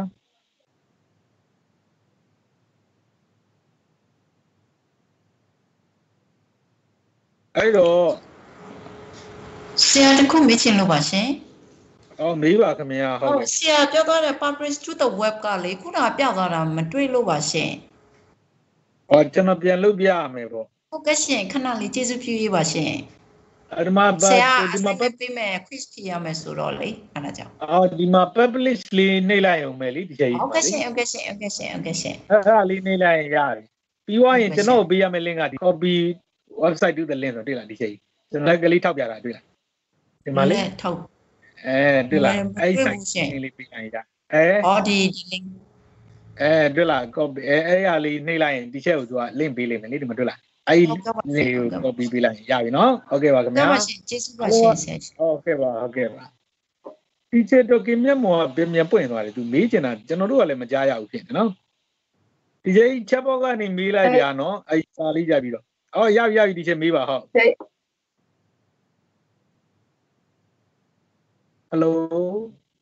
ဒီချက်အချက်ဘောက်ကမေးလိုက်ကျွန်တော်ကြည့်ပေးမယ်လေဒီချက်ကိုစာနဲ့ရိုက်ပြီးမေးလိုက်ဒီချက်ဆရာကြီး web address ကဘာထည့်ရမှာလဲဟင်ဒီချက်ဘယ်အောင်နှိပ်လိုက်တာအော် web address web address မှာသူပေါ်နေတဲ့ဟာရှိရလေဒီချက်အဲ့ဒါလေးထားလိုက်ရုံပဲလीနော်ဒီချက်ကဘယ်အဆင့်ရောက်သွားပြီလဲ ဒီချက်အတန်ကျွန်တော်တို့မကြောက်ဘူးဒီချက်ကြီးအဲ့ဒါခုနကလေကျွန်တော်လုတ်ပြတဲ့ဗီဒီယိုလေးကိုသင်တန်းပြီးသွားရင်ပြန်ကြည့်ကြည့်လိုက်နော်ဒီချက်အဲ့ဒါဒီချက်အကုန်လုတ်လို့ရလိမ့်မယ်အော်ဒီချက်တော့အုံမာမြင့်ကဗာမေးခြင်းလဲခင်ဗျာဒီချက်တော့အုံမာမြင့်ဗာမေးခြင်းလဲခင်ဗျာဟုတ်ပါပြီဒေါ်ဝင်းဝင်းရွှေမေးခြင်းမေးပါခင်ဗျာအော်အေးဟုတ်ပါပြီမေးပါခင်ဗျာတော့ခင်ဗျာဟုတ်ပါပြီအဲ့မှာ address ရဲ့အောက်ဆုံးမှာလေ ဆရာပြောတယ်မလား၄တောင်ခွက်ကလေးမှာအဲ့ဒါလေးအမှတ်ချစ်စရာမလိုလို့ဆရာပြောတယ်မလားအော်ဟုတ်ပါတယ်ခင်ဗျာ first setting လေအဲ့ဒါချစ်စရာမလိုဆိုတဲ့ခါကျတော့အဲ့ publish ကိုဘေးနာ publish ကိုပြန်နှိပ်လိုက်ရတယ်လေဆရာအော်နှိပ်လိုက်တဲ့ခါကျအော်အဲ့ publish ကိုနှိပ်လိုက်တဲ့ခါကျတော့ဒီအဲ့ဒီကျန်တာဘာမှထပ်မပေါ်ဘူးဆရာဆရာပေါ်တယ်လို့မျိုးပါစာမှ publish ကိုနှိပ်လိုက်တဲ့အခါ အဲ့ဒီဟိုကလေဆရာ LMS school ဆိုပြီးတော့ web address ကအောက်ဆုံးကလေဟိုကလေးတော့ပေါ့လေးမှာဆရာကိုပိုင်မို့တော့ကြောင့်အမှတ်မချစ်နဲ့ကျွန်တော်တော့တင်တန်းမို့လို့အမှတ်ချလိုက်တယ်ဆိုပြီးဆရာပြောတယ်လေအဲအဲ့တော့ကျွန်တော်တို့အမှတ်မချစ်ပဲနဲ့ publish ကိုပဲပြန်နှိပ်လိုက်ရတယ်လေအောက်ဆုံးက cancel နဲ့ publish နဲ့အဲ publish နှိပ်လိုက်တဲ့အခါကျတော့ဆရာလို့ဘာမှထပ်ပြီးတော့တွေထပ်မပေါ်တော့အမပေါ်တော့ဘူးလေ publish နှိပ်ပြီးသွားရင်အောင်မြင်သွားပြီလေဒီချက်ဒီ copy link ကျွန်တော်ပြမယ်အခုကျွန်တော်ရဲ့ screen ကိုကြည့်လိုက် ဒီလိုဟာလေးတွေဒီချက်လေးလုတ်ထားတဲ့ဟာလေးပေါ့ဒီမှာ copy website link ဆိုတော့တွေ့လား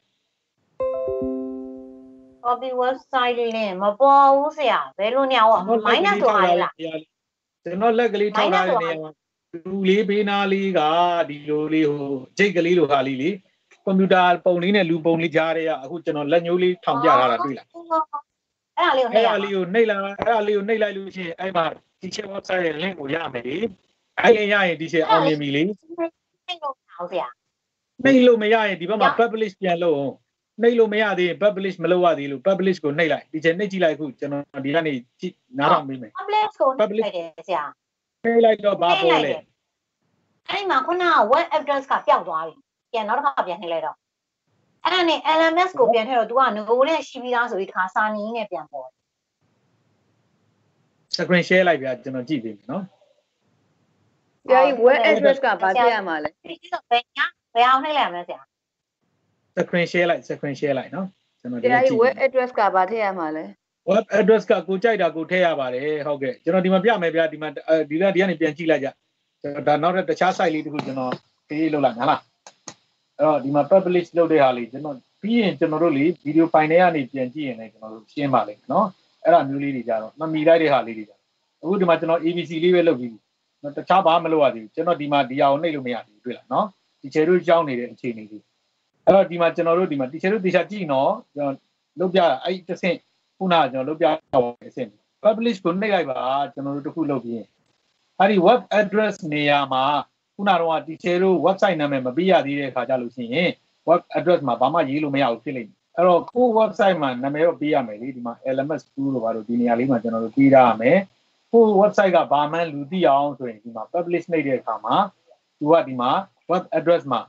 site.google.com view now မှာပေါ်မဲ့ဟာကိုသူကမေးတာပဲလေ web address ဆိုတာအဲ့ဒါအမှဒီချေတို့ကဒီမှာဟလာ LMS လို့ရိုက်လိုက်လို့ချင်း LMS ကသူများရှိပြီးသားရှိပြီးသားဖြစ်တဲ့အတွက်အမှ LMS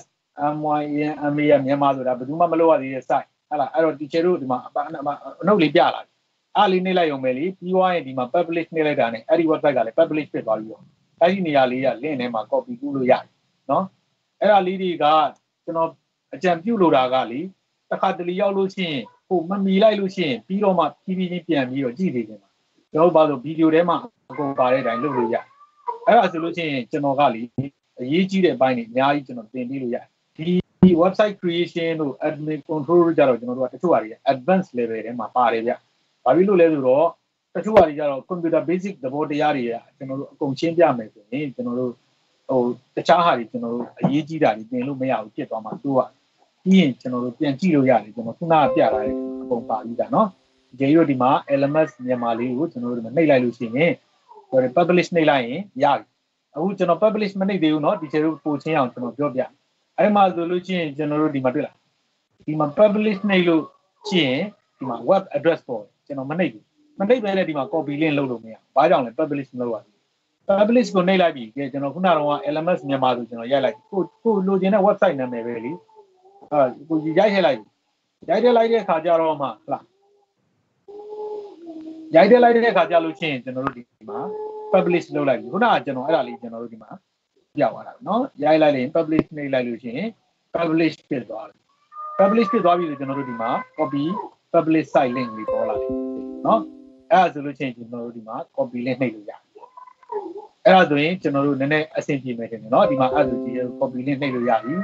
ပြီးတော့ရင်ဒီလူပုံလေးကိုနှိပ်လိုက်လို့ရှိရင်လည်းကျွန်တော်တို့ဟာဒီမှာဟလာအဲလူပုံလေးကျွန်တော်နှိပ်လိုက်ပြီပေါ့နော်ကျွန်တော်နှိပ်လိုက်ပြီဆိုရင်ဒီမှာ change ဆိုပြီးတော့ကျွန်တော်တို့ဒီမှာဆိုလို့ရှိရင် public site anyone with the link ကိုပါလို့ကျွန်တော်တို့ကြိုက်တယ်လို့ setting ထားလို့ရပါ Google site လောက်တာလေးကတော်တော်လေးလွယ်ပါတယ်เนาะဒါဆိုလို့ရှိရင်အဲ့ဒီရှင်းကြပြီထင်တယ်เนาะ အဲ့တော့ကျွန်တော်နောက်တစ်ခုလေးအရေးကြီးတဲ့အဓိကကြောင်းအကောင့်ဖွင့်နေတဲ့လူတွေအတွက်ကျွန်တော်ဆက်ပြီးတော့ကျွန်တော်ပြောပြခြင်းပါတယ်ဒီ Google site လောက်ပဲလုပ်ချင်တဲ့လူကတော့ဒီလောက်ပဲနားထောင်ပြီးပါကျွန်တော်ကဘာလို့ဒီကြောင်းအကောင့်လေးဖွင့်ထားပြီးဖြစ်တဲ့အတွက်ဆက်ပြီးချိန်တာလေးကျွန်တော်နည်းနည်းလေးပြောပြခြင်းအဲ့တော့ဒါကြတော့ advanced level ဖြစ်တဲ့အတွက်နော်လုပ်တဲ့လူကတော့နောက်ဘက်မှာကျွန်တော်ဒီဒီထပ်တင်ပါမယ်ဒါပေမဲ့ဒီတစ်ပတ်တက်ပြီးတော့ဆောင်ရွက်ချင်တဲ့လူတွေအတွက်ကျွန်တော် hints လေးနည်းနည်းပြလိုက်ပါမယ်အဲ့ဒါကိုတော့မလုပ်တတ်လဲကျွန်တော်နောက်မှရှင်းပြပါမယ်နော်အဲကျွန်တော်တို့က ကိုယ့်ရဲ့ကိုယ်ပိုင် domain နဲ့ချိန်တော့မယ်ဆိုရင်ညာဥက္ကဋ domain ရှိတဲ့ဆရာကြီးတို့ဘာလို့ဆိုဒီနေရာလေးမှာကျွန်တော်တို့ကဒီဟာလေးကိုသူများတွေဟလာနော်ကိုဒီဒီဒီဒီ website လေးစာမဟုတ်ပဲနဲ့ကျွန်တော်တို့ဒီမှာကိုယ့်ရဲ့ custom link ကိုတွားမယ် custom link ကိုလိုချင်တဲ့ link နဲ့ထားမယ်ဆိုရင်ဒီ pinion လေးကိုနှိပ်လိုက်ဟာ pinion လေးကိုနှိပ်လိုက်တဲ့ခါကျရင်ကျွန်တော်တို့ဒီမှာ custom URL ဆိုတာရှိပါတယ် အဲ့ဒီမှာကိုယ့် website ရဲ့ domain ပေါ့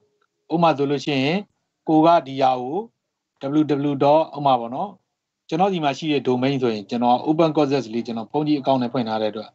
ဟိုဒီမှာအဲ့ဒါလေးကျွန်တော်ပေးခြင်းတဲ့ဟာလေးပေးလို့ရတယ် lms. opencourses.edu.mm ဆိုကျွန်တော်ပေးလို့ရတဲ့ကျွန်တော်အပိုင် domain name ဖြစ်ကြောင်းကိုကျွန်တော်တို့ verify လုပ်ထားပြီးသားဖြစ်တယ်အဲ့ဒါကြောင့်ကျွန်တော်ဒီအဲ့ဒီလိပ်စာကိုပေးခွင့်ရှိပါတယ်နော် အဲ့ဒါနဲ့ပတ်သက်လို့ကတော့ကျွန်တော်နောက်အပတ်မှသင်ပေးနိုင်ပါမယ်ဘာဖြစ်လို့လဲဆိုတော့ဒီကောင်ကနည်းနည်းခုန DNS ချိတ်တာတွေပါတာပါတာဖြစ်တဲ့အတွက်ကျွန်တော်ရှင်းပြရင်နည်းနည်းလေးအခက်အခဲရှိမှာဆိုလို့ပါသို့တော့ခုနကွန်ပျူတာတက်ပြီးသားလူတွေပြီးတော့ဒီအကြောင်းအကောင့်တကယ်ဖွင့်ကျင်တဲ့လူတွေအတွက်တော့ကျွန်တော် hints ပေးလိုက်တာပါเนาะအဲ့လိုမျိုးလေးချိတ်လို့ရပြီဆိုရင်လုပ်လို့ရပါပြီအဲ့လိုမချိတ်တတ်တဲ့လူတွေအတွက်ကျွန်တော်ဒီနောက်တဲ့ hints တစ်ခုပေးပါမယ်လုပ်ဖို့အမြန်လဲလုပ်ဖို့လိုနေတဲ့ဒါဆိုအကြောင်းအကောင့်ကလည်းနှစ်ပတ်တွင်းမှာ verify လုပ်ရမှာဖြစ်တဲ့အတွက် နှုတ်မွေအစ်စ်ပြန်ဖွင့်နေရမှာဆိုလို့ဖွင့်ရတာလည်းအမပန်းတော့မကြည့်ဘူးအဲ့ဒါမလုတ်တက်လို့ရှိရင်အဲ့မှာ land mall ဆိုတာလေးရှိပါတယ်နော်အဲ့ land mall လေးကိုနှိပ်လိုက်တာ ਨੇ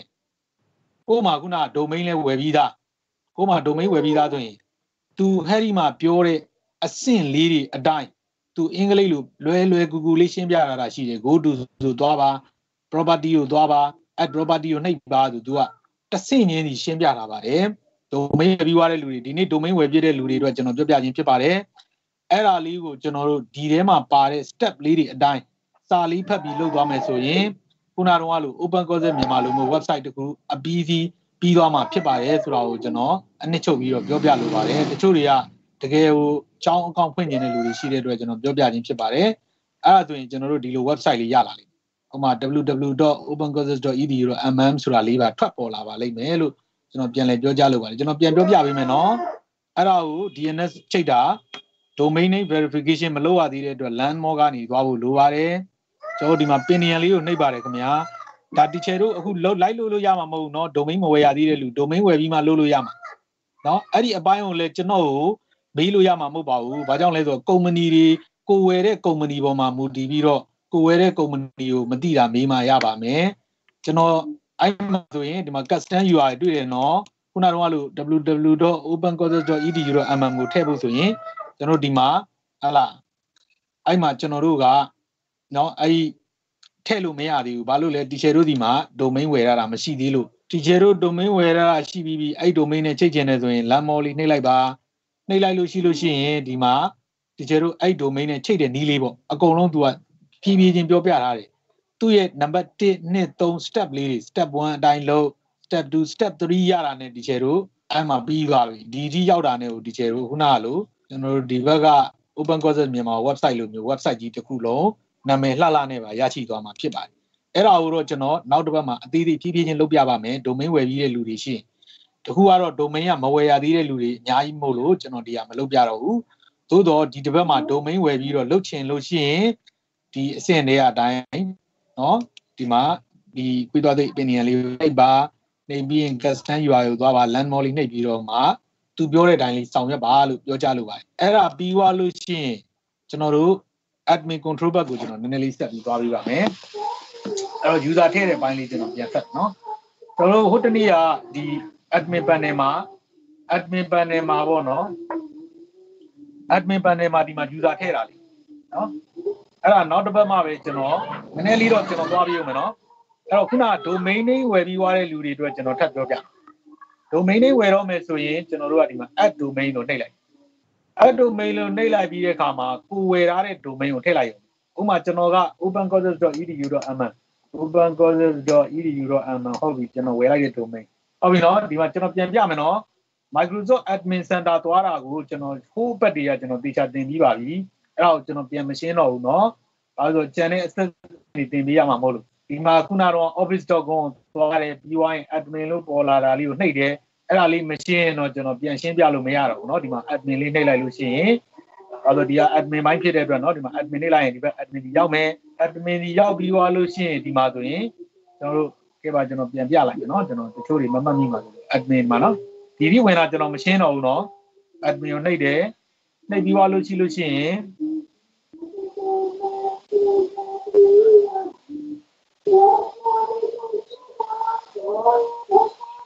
နှိပ်ပြီးွားလို့ရှိရင်ကျွန်တော်တို့ဒီမှာ setup ဆိုတာရှိတယ်နော်ဒီလို pin ဒီလိုကွာပုံစံလေးပေါ့ setup ဆိုတာလေးမှာကျွန်တော်ကဒီမှာနှိပ်လိုက်လို့ရှိလို့ရှိရင်အမှ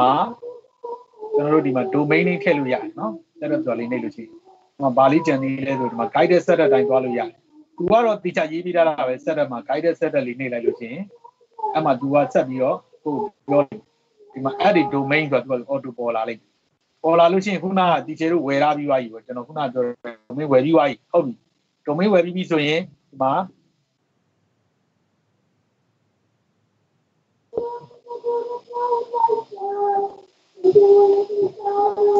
ဟုတ်ပြီနော်ဒီမှာ opencourses.edu.mm ဒါပေမဲ့ကျွန်တော်ကအဲ့ဒါကဒီမှာ account ရှိပြီးသားဆိုတော့နောက်တစ်ခုနဲ့ထပ်ချိတ်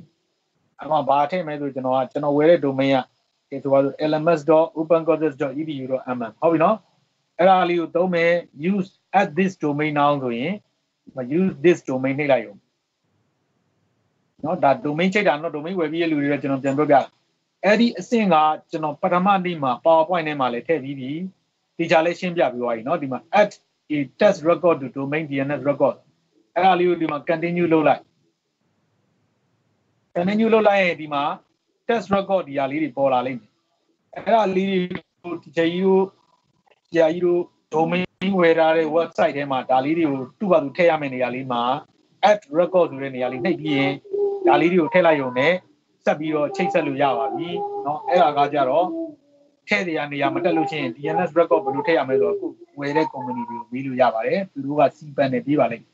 အဲ့ဒါနဲ့ပတ်သက်လို့ဟိုတစ်ပတ်ကကျွန်တော်ပြီးထားတယ်အဲ့ဒါနဲ့ပတ်သက်လို့ကကျွန်တော်ပြီးထားတယ်အထဲမှာပါပါတယ်ပြီးသွားရင်အဲ့မှာသွားထည့်ပြီးသွားတဲ့အခါကျတော့မှဒီမှာ verify ဆိုတာနှိပ်လိုက် verify ဆိုတာနှိပ်လိုက်လို့ရှိရင်ကျွန်တော်တို့အားလုံးပြီးသွားတယ်အဲ့ domain တစ်ခုလုံးဟိုမှာ edu တော့ mm ဝယ်တဲ့လူဆိုရင်ကျွန်တော်တို့တရားဝင်ရှောက်ခွင့်ရှိပါပြီ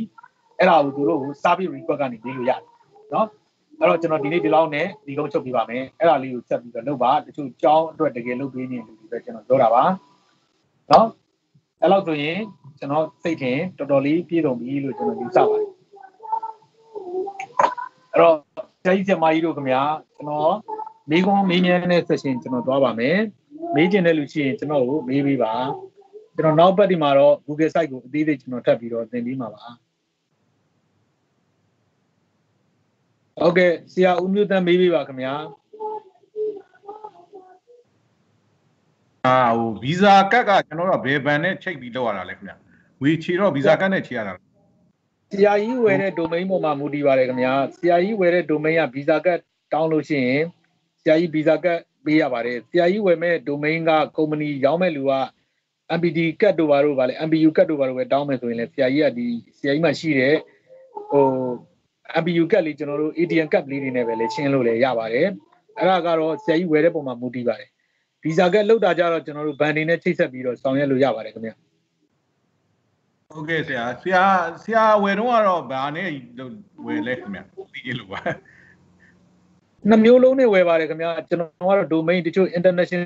domain ဝယ်တဲ့ခါတော့ visa card နဲ့ဝယ်ပါတယ်။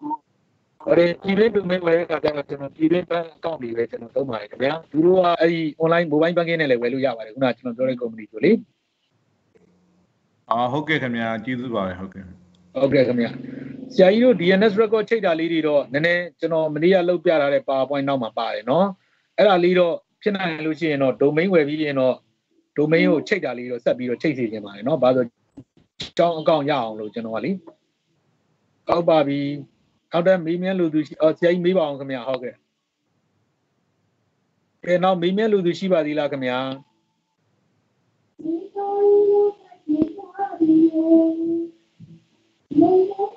Hello ဆရာကြီးဆရာမကြီးတို့မေးချင်တာမေးလို့ရပါတယ်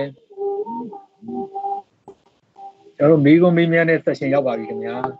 ။အော် teacher ဒေါက်ခင်မာချိုမေးပေးပါခင်ဗျာ။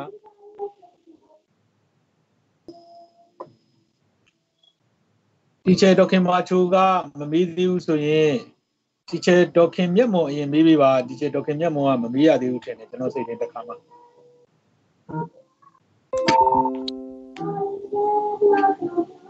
teacher ဒေါက်ခင်မြတ်မွန်မေးပေးပါခင်ဗျာဆရာကိုရင်တွက်လင်ရခဏလေးစောင့်ပေးပါနော်ဆရာဦးရင်တွက်လင်ရခဏလေးစောင့်ပေးပါ teacher ဒေါက်ခင်မြတ်မွန်ခဏမေးပေးပါ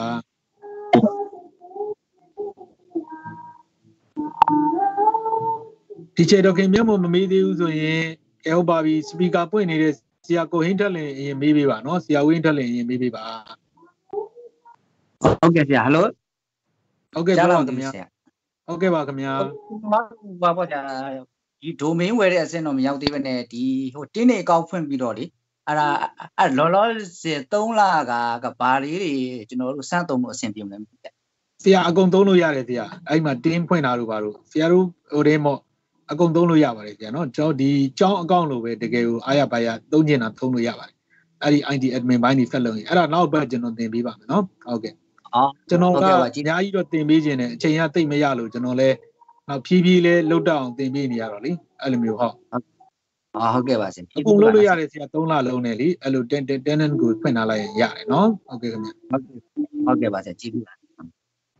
teacher document ဖြူအဲ teacher document မှာဖြူလက်ထောင်တာတော့ teacher document မှာဖြူမေးပါအောင်ခင်ဗျ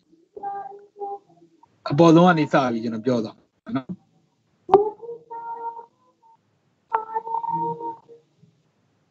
teacher document မှာဖြူအတမကြတော့ teacher document ဖြူမေးပေးပါအဲ့ဒါကျမလက်ချထားတာလက်ထောင်သလိုဖြစ်သွားတယ်ဆို sorry ပါဆရာကျမပြန်ပြီးတော့ဟိုလုပ်လိုက်ပါမယ်နှိပ်လိုက်ပါမယ်နော်ဆဟုတ်ရာကဲ့ပါကျေးဇူးပါ teacher ဟုတ်တင်ပါတယ်ဟုတ်ဟုကဲ့တ်ဟုတ်ဟုတ် teacher document မှာမေးပေးပါ teacher document မှာလက်ထောင်တာတော့ပြေးလို့ပါဟုတ်ကဲ့ဟယ်လိုဟုတ်ကဲ့မေးပါခင်ဗျာအဆရာဟွာလေးကျမဒေါက်ခင်မြတ်ပါရှင် ဟုတ်ကဲ့ပါခင်ဗျာကျမဘုံကနေမေးတာကျမဘုံကအတန်မထွက်လို့ဆရာစီကိုမရောက်သွားတာဆရာအားကြောင့်အခုသူများဖုန်းနဲ့မှန်းနေနေရတယ်အော်မေးပါမေးပါရပါတယ်ခင်ဗျာအဲ့ဆရာခဏ publish လုပ်နေရလို့လေအာလုံးရင်းလွင်နေပြီရသွားပြီဆရာလုံရင်လုံရင်နဲ့ဘာဖြစ်သွားလို့အဲ့ဒါ publish လုပ်တာမရလို့ဆရာအဲ့ဒါမေးမလို့မေးမလို့ဒီဘက်ကဆရာမေးမေးဆိုမေးတဲ့အခါမှာကျမဖုန်းဘက်ကအတန်မထွက်ဘူးဆရာ မထွက်တာလည်းအဲ့ဒါဆက်မမေးတော့ဘူးဆရာမမေးတဲ့နဲ့ဟောဗီဒီယိုလေးထဲမှာတစ်ချက်ပြန်ကြည့်လိုက်နော်ကျွန်တော်အော်ရသွားပြီလားအော်ကောင်းပါတယ်ခင်ဗျာဝမ်းသာပါတယ်နော်ကျွန်တော်လည်းပဲဒါတက်နိုင်သလောက်တော့အများကြီးရအောင်တော့ကြိုးစားပြီးတင်တာပေါ့နော်တချို့ကြတော့လည်းနည်းနည်းတော့ပြန်ကြည့်မှအဆင်ပြေမှာပေါ့နော်ဒါ website ဒီ website ကိုပါတိဆောက်တဲ့ဒီကျွန်တော်တို့ရောက်ရှိလာပြီဟုတ်ဟုတ်ကဲ့ပါဒါဆိုရင်ကိုလာလေးလည်းမေးပြီးသွားပြီဆိုတော့ဒီချေကလာလေးအကောင့်လေးနဲ့မြုပ်လေးခဏပြန်လုပ်ပေးပါနော်ဟုတ်ကဲ့ဟုတ်ကဲ့ပါ အဲဒေါက်ခင်မြတ်မွန်ကမမီးတော့ဘူးထင်တယ်နော်ဒီချေဒေါက်ခင်မြတ်မွန်အတန်မကြားလို့ပါ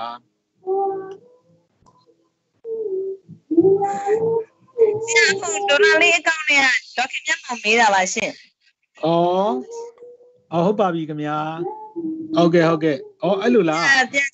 အမျိုးလုပ်ပြီနော်တူတူတန်တန်လေးဟုတ်ကဲ့ခင်ဗျအဲဒါဆိုရင်ကိုအင်းတက်လွင်နဲ့ဆရာဦးမျိုးတန်းလည်းမေးပြီးပြီဆိုတော့တခြားမေးမဲ့လူမရှိတော့ဘူးထင်တယ်နော်ဟုတ်ဆရာရှင်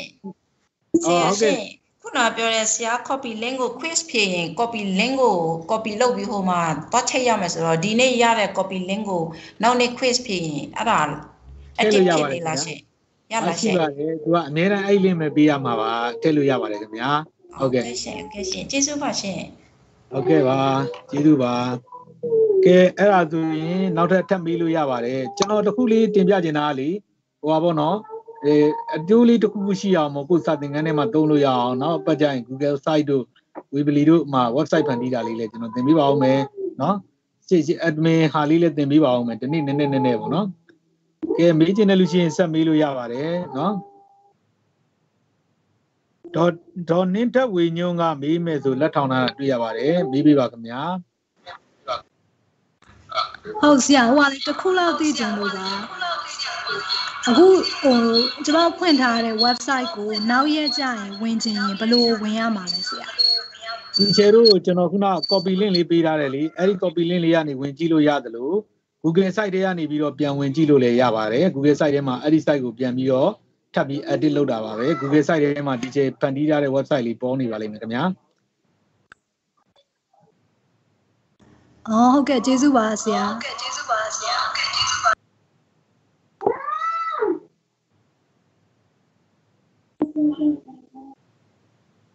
န်တော်တို့မေးစရာရှိတဲ့လူကတော့မေးလို့ရပါတယ်မေးစရာမရှိရင်လည်းနားခြင်းတဲ့လူနားလို့ရပါတယ်ကျွန်တော်ကတော့ဆက်ပြီးတော့စောင့်ပေးနေအောင်เนาะတော်တော်လေးတော့လည်းကြာသွားပြီပေါ့အဲအဲ့ဒါဆိုလို့ရှိရင်အားလုံးပဲအဆင်ပြေလောက်ပြီထင်ပါတယ်เนาะကွန်ဖိုင်လေးထုတ်ပြီဆိုတော့အော်မေးမဲ့လူလည်းမရှိတော့တော့ဘူးထင်ပါတယ်ကျွန်တော်အတန်းလေးကိုဒီမှာလည်းရနာခွင့်ပြုပါလို့เนาะမေးစရာရှိရင်လည်းမေးလို့ရပါတယ်ကိုကိုတဲ့ကို ကြာကိုသိနိုင်အောင်ကတော့ live လေးကိုပိတ်လိုက်လို့ရပါပြီ။ကျန်တဲ့လူမေးခြင်းလည်းမေးလို့တော့ရပါတယ်နော်။